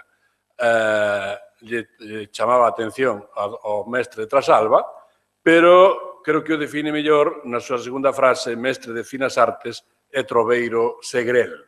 Por tanto, eh, os seus contemporáneos, que eran un pouco maiores que el, que podían ser mesmo os seus mestres, como Tero Pedraio, viron en Filgueira unha figura eh, de extraordinaria formación, con unha gran capacidade de traballo, eh, con eh, diversidade de, de, nas súas propias eh, ocupacións e intereses, eh, aquí xa se foi, xa foi falado a súa obra de creación, a súa obra de investigación, eh, non insistirei nela. Si que quixera insistir desde o principio, e isto ten que ver co propio Consello, a, no perfil que tuvo Filgueira toda a súa vida coa independencia, logo falarei deso, a, dos seus avatares políticos, a, que considero que tivo unha lealdade básica á cultura galega, en, todos os, en todas as fases da súa vida, antes da guerra, na guerra, despois da guerra e despois no franquismo e despois do franquismo, e que eh, tivo tamén unha constante vontade de institucionalizar ou de colaborar na creación de institucións que eh, for, eh, que fixesen da cultura galega non unha obra de amadores ou unha obra de, de de adánica na que se está constantemente empezando, senón que sexa o resultado dunha acumulación de esforzos eh, na que moitas persoas colaboran. El en primeiro lugar, pero tamén moitos outros. Veuse ben claramente na exposición que xa se fixo do Seminario de Estudos Galegos, eh, creo que eh, está presente tamén, de algún modo, eh, na Academia Galega, está presente, non, xa non digamos, no gran, na gran obra personal dele de Sánchez Cantón, que foi o Museo de Pontevedra, tamén no tránsito desde o Seminario de Estudos Galegos o Instituto Padre Sarmiento e, desde logo, eh, tamén no Consello da Cultura Galega. Eh, isto traía yo para o profesor Díaz Fierros e tamén para o profesor Pardo de Guevara. Este é unha expresión, é unha manifestación, esta é unha carta que está perdida no epistolario de Piñeiro, eh, é dicir que era difícil de encontrar, eh, na que eh, eh se refire a, en fin, a carta que unha serie de seminaristas lle envían a Otero e a Risco, a Orense, para que se incorporen ao seminario de o ao Instituto Padre Sarmiento. Esta carta é de marzo de 1944. E aí el, eh, en fin, traduce ao latín, despois, o sea, encabeza o latín, despois traduce, eh, expón o que, o que os, os amigos de Compostela lle escriben a él, que son eh, Carro, Pedret, Bouza, Carrete e mesmo Iosefus Filgueira, ou Filicaria, diríamos, a ver, lle chama Filicaria Valis Viridis, como lle chaman algunha carta en latín. E, o importante desto é que aquí insisten os que lle escriben a Otero e a Risco en que pretenden salvar o que se poda salvar do seminario e, sobre todo, que eles, despois de diciren que non, eles van a estar á espera de que poden ocupar o lugar que se lle está reservado no seminario, que final, no, perdón, no instituto, que finalmente ocuparía. Bueno, isto sería como unha mostra desa transición institucional eh, que foi moi, moi común na época do franquismo, que non é todo blanco nin todo negro, en a que posicións diversas teñen os seus disensos, pero ao propio tempo acaban encontrando algún tipo eh, de integración. Bueno, con isto dou un salto, eh, vou a, ao, ao punto central que é incardinar a labor de Filgueira no contexto da cultura galega de fins do franquismo é de transición á democracia, que é cando el mesmo ah, primeiro está nunha situación, digamos, marxinal e logo acaba tendo unha posición central. É dicir, que Filgueira pasa en poucos anos de ser unha figura extraordinaria no réxime do franquismo, dunha figura quasi marxinal na época da transición, e logo unha figura de novo central na época da autonomía. Eh, él, naturalmente, como home da cultura, eh, pues participa nas, durante o franquismo nas, en fin, moitas actividades culturais, máis, máis ben de, de elaboración eh, calada ou casi de resistencia, que non, desde logo, de mobilización, non forma parte, nada máis que de forma lateral, dos grupos eh, culturais institucionalizados de vocación claramente galeguista é dicir, o Grupo Galaxia, o Grupo Sargadelos, a propia a Real Academia Galega, a propia Universidade, solo tangencialmente, pero tamén o facía o Padre Sarmiento, e, desde logo, tampouco forma parte de toda a mobilización cultural que, a través das asociacións culturais, comezan no ámbito eh, eh baixo paraguas, máis ou menos, do Grupo Galaxia, e que desde os anos 70 son, digamos, que viran ou, ou modifican a súa estrategia eh, realmente baixo as pautas do novo nacionalismo xurdido nos anos 60, pero que experimenta a súa gran eclosión nos anos 70. Neste punto, eh, na transición xogaron unha, unha, unha, unha función, creo que bastante importante, o que se chama vulgarmente, ou vulgarmente, clase tamén técnicamente, os intelectuais.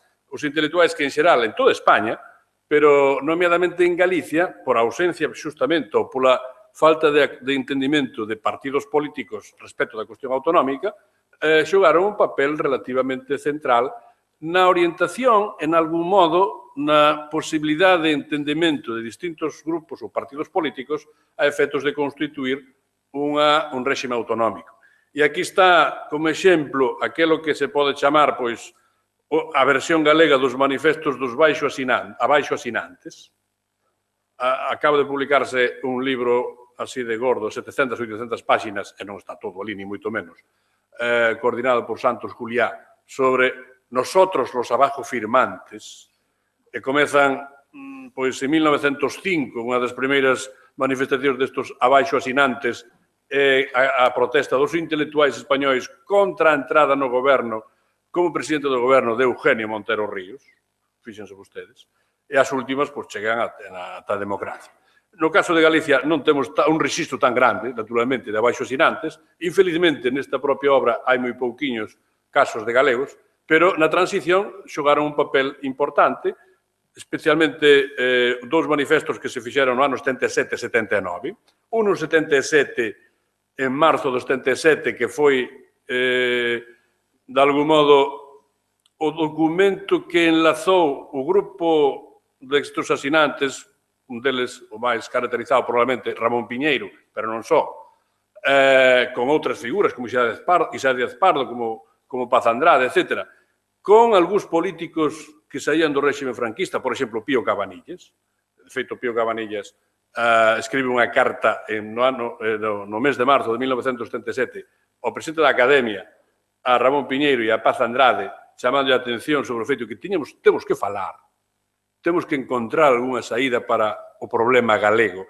No espírito deste manifesto eh, de abril ou de marzo de 1977, houve despois outro manifesto moi importante que foi o do o producido cando o Estatuto da Aldraxe en 1979, que naquela altura creo que eran 29 os asinantes, e finalmente eh, no ano 80 o máis coñecido, o máis zae, eh, criticado e máis perversamente interpretado, e digo con todas as palabras, perversamente interpretado, que se chamou Realidade Galega, que foi quizá o último destes manifestos da Baixa Sinantes, aos que se lles deu moita importancia, pero que se foi, que realmente foi un modo de desatascar, de axudar a desatascar o proceso estatutario, pero tamén foi a expresión do que se estaba transformando, no que se estaba actuando algúns, algúas elites culturais galegas, nunha sorte de sustituto de instrumentos partidarios para avanzar na vida política, no debate sobre o estatuto e ao propio tempo no cauce para incorporar figuras do interior e figuras do exilio nunha mesma dirección. E, e só hai que revisar os 63 ou 64 asinantes do manifesto Realidade Galega para comprobar como aí están eh, pois, eh, de oposición interior moderada, de oposición interior un pouco máis radical, eh, do, de exiliados de distinta orientación, desde, poñamos, Luis Seoane ou Rafael Dieste, eh, que están presentes eh, neste manifesto, de altos funcionarios da administración que comezan a incorporarse ao debate da cuestión galega tamén nesta altura, e de xente nova que eh, tamén se presenta eh, en público por primeira vez, quizá, a través deste manifesto. Bueno, todo isto que ten que ver con Filgueira, pois ten que ver que Filgueira está fora de todo eso. Está fora de todo este proceso. É un marxinal deste proceso. Aquí, esta é, un, esta é unha entrevista que, en fin, eu eh, reparei nela porque a encontrei casualmente nos papeles de Sisto Seco. Teño que decirlo así porque eu non, eu non revisei o correo gallego destas épocas, non? Pero é unha entrevista que lle fai al Vite, un conocido reporteiro galego, e que ten bastante, eh, bastantes datos para entender que é o que acontece, non? E, en suma, vou non resumir, porque non se ve, non ven desde aí ben, non? Eh, bueno, podemos decir que el ten unha posición dentro no programa cultural galego da que, da que consciente, a súa posición, en fin, co museo, co Padre Sarmiento, etc., pero recoñece que ten que estar ausente naquel, naquel contexto político. Por qué? Porque eu fun alcalde do franquismo. Isto dice o Filgueira, ou, dice, ou fallo dicir, albite a Filgueira, non o sei. Pero, en todo caso, aí está. E, por tanto, isto que explica que este marxinado en boa parte desta estrategia de intervención pública dos intelectuais a, no proceso estatutario en 1977 a 80. E dice unha cousa que é clara e meridiana. Naide me pediu que asistirá a xuntanza de realidade galega. Ela engade, tampouco teño, non levo a mal, porque que se lle vai facer, non? Pero Naide me pediu. Por tanto, non podía asinar este manifesto. Para acabar dicindo, así como pode ser moi discutible a miña vida política, e é unha, unha autocrítica de Filgueira, entendo que non se me pode discutir a miña condición de intelectual galego, que, tam, que creo non é creo que non é unha expresión de falsa modestia, senón que é de recoñecemento da súa propia posición como tal. Non?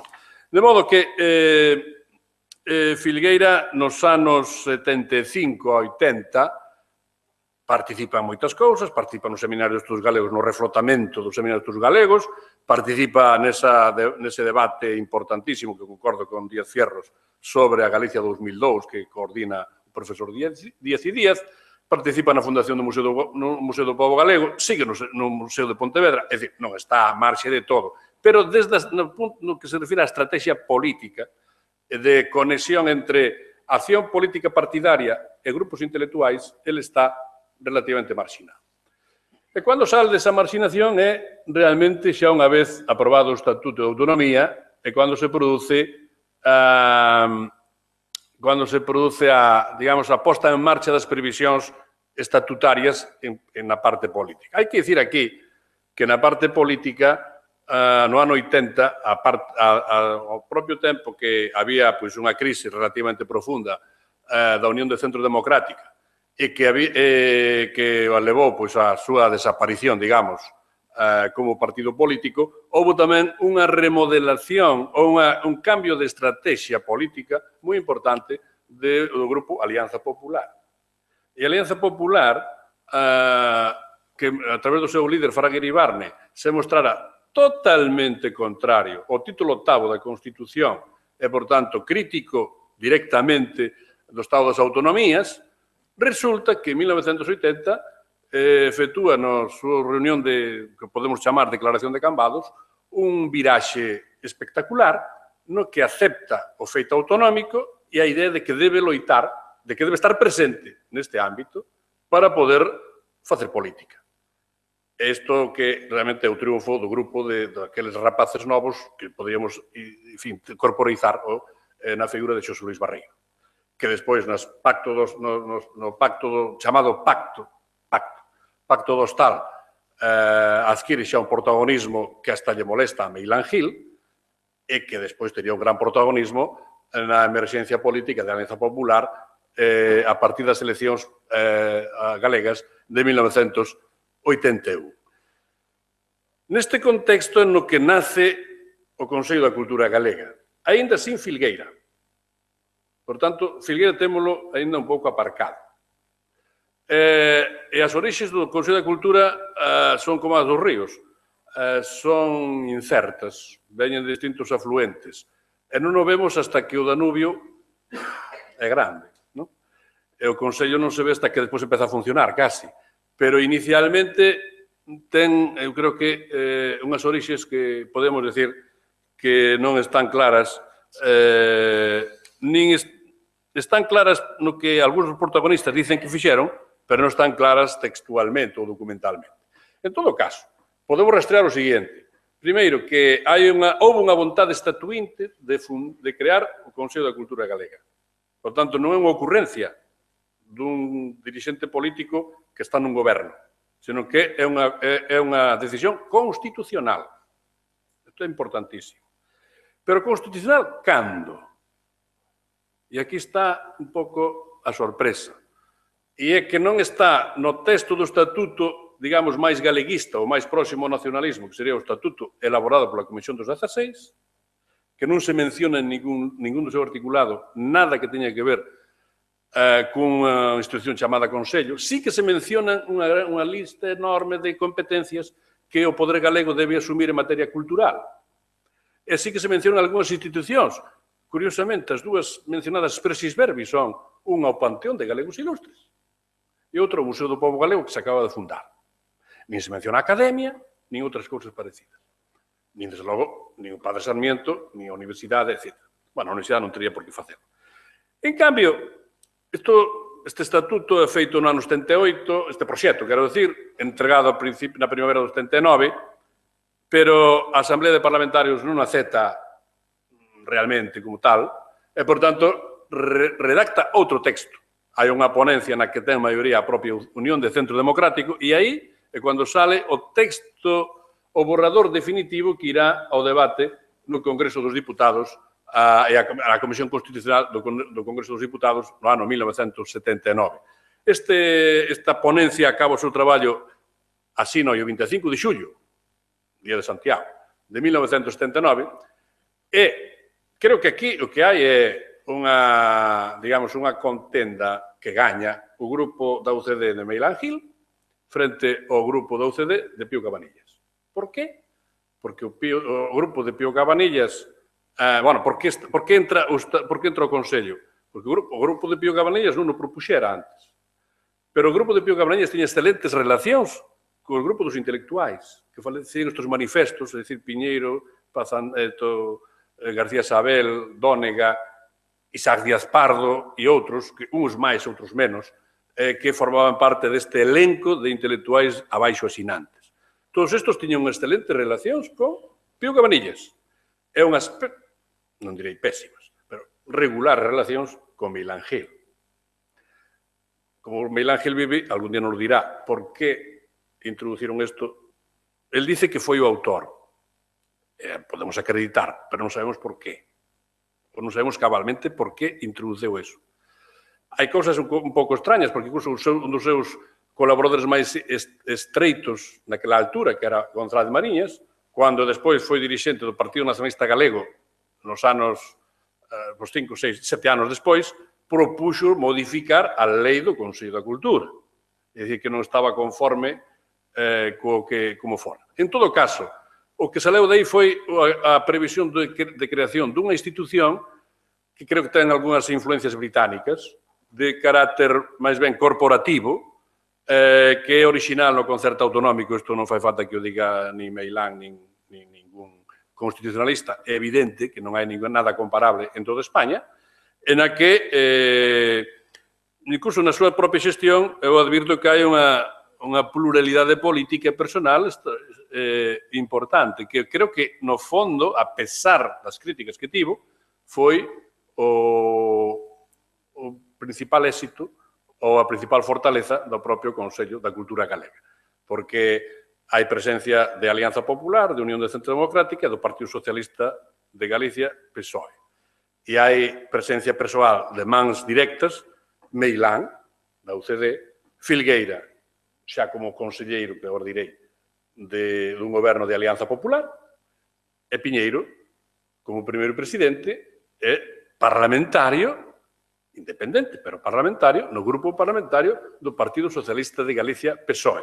De modo que a P, UCD, PSOE, que supoñían o, pois, o 80, casi, cerca, casi o 90% dos deputados que había na primeira Cámara Autonómica están implicados na aparición eh, do Consello da cultura galega.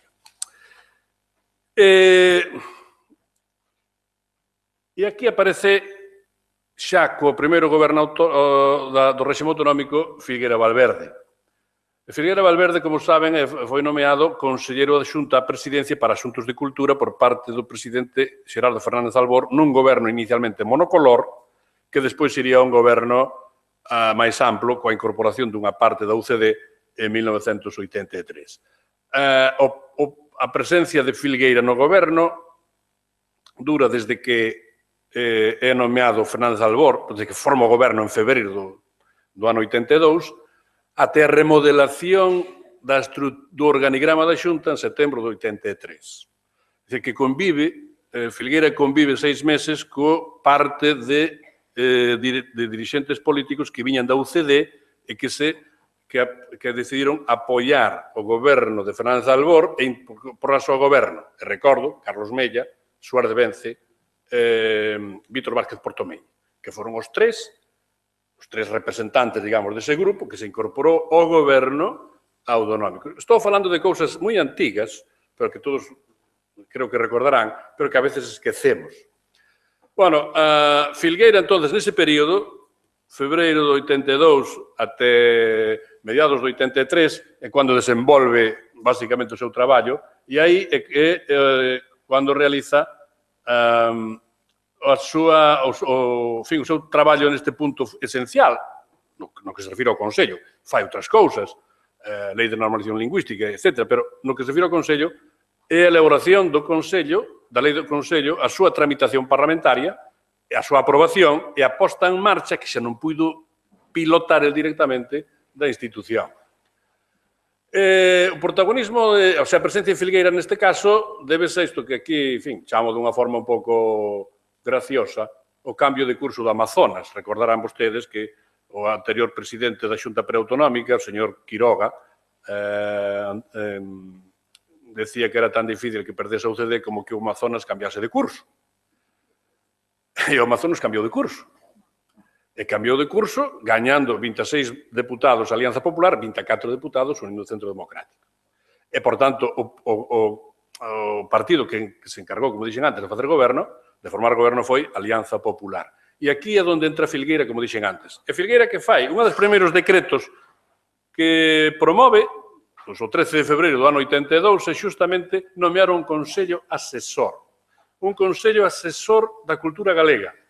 É un Consello Asesor que, que ten como objetivos elaborar as bases, realmente xa o articulado, do futuro Consello da Cultura. Por tanto, a súa misión quasi principal e inicial foi eh, crear, eh, ou sea, desenvolver o que estaba previsto no Estatuto de un Consello da Cultura Galega. Aquí non sei se se pode ver, pero este Consello Asesor está, este, este está nos papeles de Filgueira, dos que digitalizamos este ano gracias á Fundación e, a, e, a, e ao Museo de Pontevedra e á Diputación de Pontevedra, que hai, moito, hai moitas cousas nestos papeles que non temos aquí no Consello. Hai moitos, o sea, hai moitos documentos que se podrán, podrán empezar a, a consultarse a partir de agora, bueno, podrían facerse tamén na Fundación Filgueira, pero agora estarán máis facilmente disponibles por esta vía. Aquí está, por exemplo, a relación do Consello Asesor que Albor, bueno, que Barreiro lle presenta, Barreiro como, como Consello de Presidencia, lle presenta a Albor e Albor eh, envía a, ao Parlamento para que se coñeza a súa relación. Que quer decir con este, este Consello Asesor? Porque este Consello Asesor está feito basicamente por Filgueira. Este Consello este Consello Asesor é case preanuncia o que foi o Consello da Cultura. Por tanto, está aquí, en esencia, contido. Hai 12 representantes de institucións e 10 representantes a título individual. E aquí están, pois, eh, mm, en fin, están as... Eh, destos 22, hai, pois, unha cousa que hoxe non sería un pouco extraña, non? Seis parlamentarios, oito profesores de universidade, seis académicos. En sustancia están pois a universidade, as academias, algunhas fundacións, eh, algúns museos, eh, xente en título particular que non sei se se ve desde aí. Sí. Non se ve, non? Bueno, pero non son eu culpable desto, de momento. en fin, eh, digo, digo, digo, digo. A ver, que eu daqui creo que podo ler. Pois, se queren saber os, os, os persoeres, as personalidades. Adolfo de Abel Vilela, Jesús Alonso Montero, Ramón Castromil, Manuel Chamoso Lamas, Manuel Díaz y Díaz, Isaac Díaz Pardo, Ramón Martínez López, Pablo Moure Mariño, Ramón Piñeiro e Manuel Sánchez Alorio. Como ven, eh, deputados, xa parlamentarios bastantes, de, tres, de varios partidos, básicamente de AP e do PSOE, pero con unha notable maioría de AP, Uh, eh, algúns dos abaixo asinantes que víramos antes, entre eles Isaac Díaz Pardo ou, ou ao Ramón Martínez López, figuras que están un pouco que están noutro ámbito político, noutra sensibilidade, como por exemplo Alonso Montero. Non hai figuras do novo nacionalismo galego. Eso, eso creo que ninguén destes podría identificar. Por tanto, se consuma ou está presente esta, digamos, esta fractura que está na auto, no, nos inicios da autonomía en casi todas partes. Porque hai, unha, hai un, un grupo, de, un, digamos, unha maioría política a favor do feito autonómico e unha minoría política en contra da autonomía. É dicir, a favor da ruptura e a favor das bases constitucionais e de, e de, e de rexeitar expresamente a propia autonomía, de non considerar lexítimo nin o Parlamento, nin o Goberno, nin todas as institucións que nacen da propia autonomía. Isto é lexítimo, pero eh, quero decir que tamén ten as súas consecuencias incluso na propia visibilidade institucional. Bueno, a lei... Eh, a lei foi aprobada basicamente co mesmos contidos que están no, no, no texto que sai do Consello Asesor e a súa tramitación foi relativamente rápida, foi aprobada por grande maioría, houve dúas posicións contrarias das cuales algunhas das súas propostas foron incorporadas, ou bastantes das súas propostas, unha de Camilo Nogueira, como representante de Esquerda Galega, como diputado de Esquerda Galega, algunhas das súas eh, propostas, por exemplo, eh, respecto de museos e eh, das universidades foi incorporada, e outra de, de Geluco o Ángel Guerreiro, ¿no? que representaba o Partido Comunista de Galicia. Pero uh, o resto dos par portavoces parlamentarios fixeron intervencións, digamos, de, de matiz, algunhas moi precisas, como por exemplo de Pardo Montero, que, ainda, que estaba na UCD, e outras son moito máis xenéricas, por exemplo, o portavoz do Partido Socialista, eh, Miguel Barros. A aprobación da lei e a posta en marcha do Consello eh, pois non estuvo libre de, de debate, de controversia e de críticas. Unha das máis evidentes foi esta que aquí resumo, considerar a institución como un museo de momias. Eh, bueno, algúns, algúns articulistas se preguntaban, bueno, é unha momia Díaz Pardo? É unha momia Alonso Montero? Ou ou algúns dos outros que, que estaban, eh, estaban previstos nas institucións ou que despois foron incorporados, incluído o dos máis novos o que estaba daquela altura, que era Víctor Fernández Freixanes, non? que creo que non era momia, me parece. Eh, pero, en todo caso, eh, en todo caso, a, a esta, esta ruptura, esta escisión, esta fractura estuvo presente naquela altura, e incluso nalgúns, nalgúnas secuelas sigue na actualidade vemos aquí como hai medio centenar de entidades culturales que piden que se reestructure el Consello, unha vez constituído como tal. Que non só o Museo de Momias, senón que se debe reestructurar xa desde o principio, porque realmente non, non, non, non reflicte eh, o que este sector da sociedade galega eh, eh, consideraba que debía ser unha institución cultural. Pero iso é outra cousa discutible, mas eh, que non ten, non ten por que entrar agora aquí na miña na miña intervención. Finalmente, porque xa, doutor Fierro, estou xa pasado, ultrapasado, eh, direi unhas palabras sobre Filgueira no Consello da Cultura. Non? Isto é o que creo que ten, ten importancia, pero xa sería de outro, de outros, de outro estilo o que se podía decir aquí. Filgueira, como dixen antes, non puido um, pilotar a posta en marcha do Consello, porque xa non era conselleiro, por uns meses, bueno, por, uns, por unhas semanas, porque a, a, o cambio do organigrama da, da Xunta de Galicia foi feito nunha reunión en Porto Marín, no Parador de Porto Marín, durante dous días, de varios homes sin piedade, que ali eh, decidiron como cambiar o nome das consellerías, atribuir unhas eh, competencias unhas a outras, e entre elas, e non era a menor, nin o menos importante, era suprimir a Consellería de Cultura porque era a única forma que había realmente de poder deixar fora do goberno Filgueiro Valverde. Porque cesalo era un acto mm, de excesiva valentía para aqueles, para aqueles momentos. Non? Por tanto, era máis cómodo eh, cambiar o organigrama que cambiar as personas. E se, se, non hai, se non hai oco, non hai bicho. E, por tanto, a Filgueira quedou a principios de outubro do 83 fora do goberno, eh, o, o, ocupouse das, das competencias de cultura o Conselleiro de Educación Vázquez Portomeñi, e na ámbito de cultura nomeou como director xeral, como se recordará, a Luís Álvarez Pous. Entonces, eh, el xa quen pilota a posta en marcha do Consello é Víctor Vázquez Portomeñe, e aí xa ten lugar pois a, a presencia das institucións mudaron algo respecto do Consello Asesor, pero pouco que forman parte do Consello e se elixiron as 10 personalidades. Entre as 10 personalidades foi elixido tamén Filgueira, como foi elixido Piñeiro, por exemplo, ou foi elixido Barreiro, ou Víctor Freixanes, ou outros, ata, ata o número de 10. Ou, non, eh, non, Díaz Fierro foi elixido pola universidade, viña representando a universidade con co rector eh, Suárez Núñez, non? naquela altura.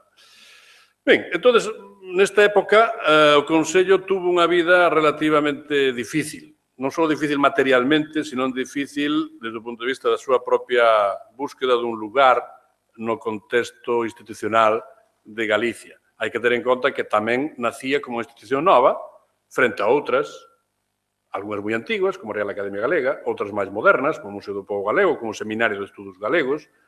Eh, é dicir, que encontrar a súa, a súa legitimidade de exercicio era un traballo de tempo. Por tanto, nos primeiros anos Cando foi elexido Piñeiro como presidente, pois, eh, o fundamental foi, creo que, desenvolver esta labor, no, na cual Piñeiro, digo, Piñeiro sí, pero eh, Filgueira eh, colaborou dunha forma moi eficaz. Fixo ás veces incluso de presidente en funcións, eh, pilotou sempre eh, traballos de carácter xeral, eh, facer un censo cultural, apoiar congresos de amplio alento como o Congreso Rosalía, como das linguas minoritarias, comezou a ocuparse da antropoloxía cultural como un campo específico eh, proposto por Filgueira, tamén comezou a, a, a traballar no que sería a imaxe corporativa do Consello, esta que hoxe temos, que é inspirada en Castelao, é unha proposta de Filgueira Valverde, que non foi menor a súa participación, por tanto, no diseño eh, do que é eh, o Consello da Cultura, E finalmente, eh, ela cede a presidente eh, en outubro de 1990, nunha elección bastante dificultosa, esa xa poido contar casi en primeira en primeira persona porque estaba ali presente, incluso fun culpabilizado de algúns de algúns dos resultados que ali tuveron lugar. En fin, vamos a deixar isto eh, que non ten moita importancia. Sí que decir que para, para mostrar cual era o, ambi, o ambiente do Consello, pois pues, foi unha elección de 12 votos a favor e 10 abstencións. Dicir que unha, unha situación relativamente eh, débil, pero que despois se reforzou moito no segundo mandato. E, como saben, Filgueira acabou morrendo eh, como presidente do Consello da Cultura e con todo, e poderemos agora eh, con todos os honores como presidente do Consello da Cultura.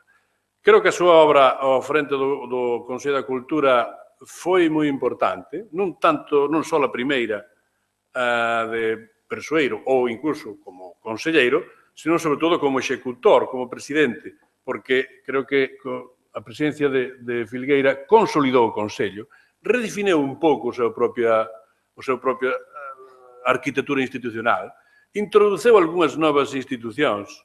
Eh, eu recordo que daquela eu era reitor e, por tanto, me, me chamaba con frecuencia, aínda que eh, me vin un pouco, digamos que, en fin, non direi maltratado, pero En fin, temos que meter as outras universidades. estamos nunhas polémicas coas outras universidades e esta decisión de tanta, con tanta rapidez de incluir as universidades de Coruña e a Universidade de Vigo e, e, por tanto, perder posición de dous, de dous representantes a un a Universidade de Santiago, non deixaba de ser un pouquiño embarazoso para o rector da Universidade de Santiago.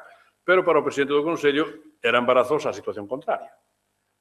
E incluso as presións que me consta que recibía na dirección de ampliación de modo que as dúas universidades incorporáronse como membros de pleno dereito rapidamente tamén a Academia de Belas Artes, pero o máis importante dele eu creo que foi a, a ampliación dos, das áreas de, de, de actividade do Consello. Así que neste sentido foi, fixo como unha especie de falso seminario, non? do falso seminario de estudos galegos, quero decir, moitas seccións, como empezou o seminario, despois foron, eh, como empezou o Sarmiento tamén, despois foron achicando, Aquí tamén el promoveu moitas estas seccións e mesmo algunhas novas, como a de artes plásticas, como a de música e artes escénicas, crear arquivos, eh, promover grandes proxectos e, e ser, eh, sobre todo, unha institución con unha capacidade de diálogo institucional independiente. Por exemplo, o informe sobre o Camiño de Santiago foi moi controvertido, pero el, a pesar da súa boa relación co goberno naquela altura de Fraga Iribarne mantivo a posición do Consello, cual creo que dá idea non só da súa da, da, así, da súa personalidade, tamén da súa capacidade política de ser un mediador neste punto, promoveu o debate para a creación do Centro de Arte Centro Galego de Arte Contemporánea e algunhas outras cousas. E finalmente, creo que estamos aquí porque tuvo que ver moito ser el o profesor do presidente da Xunta de Goberno de, da Xunta de Galicia naquela altura.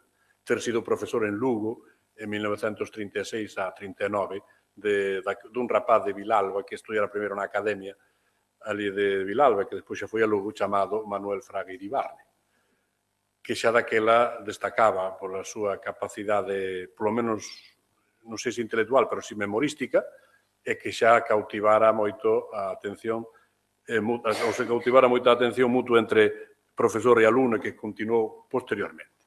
De modo que el redefineu o Consello, ampliou a súa arquitectura institucional, eh, abreu campos para que pudese incorporarse xente nova ao Consello pola vía das seccións, eh, os arquivos comezou a fomentalos dunha forma específica, os orzamentos non estaban ainda á altura do que hoxe están, pero el tamén fixo neste sentido un papel esencial. En todo caso, podría decir como conclusión que Filgueira non creou o Consello, pero Filgueira desenvolveu e consolidou o Consello da Cultura, e isto é o máis importante que creo que hoxe hai que reconocer respecto da súa executoria pública e, do, e despois da súa, e da súa presencia no mundo das, uh, uh, das institucións culturais galegas no século XX.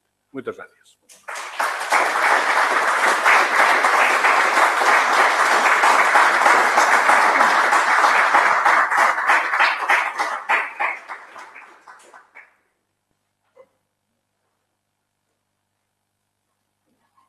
Bueno, don Francisco, que facemos agora?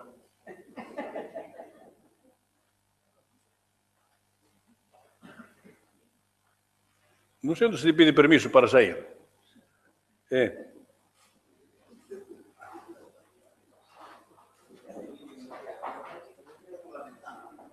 eh. É. Aqui. E aí? Eliminar, eliminar dice. Sí, pero...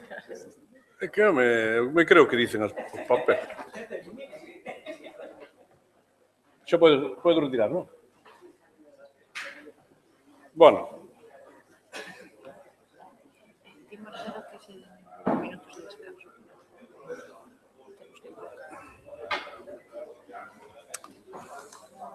Que? Bueno, uh, A continuación, vamos a facer gracia do coloquio. Entón, vai haber unha actuación musical eh, ordenada eh, por, eh, cuidada por Massimino Zumalave. En dous minutos estarán aquí xa os artistas eh, presentes e, por tanto, procederemos a esta segunda parte da sesión.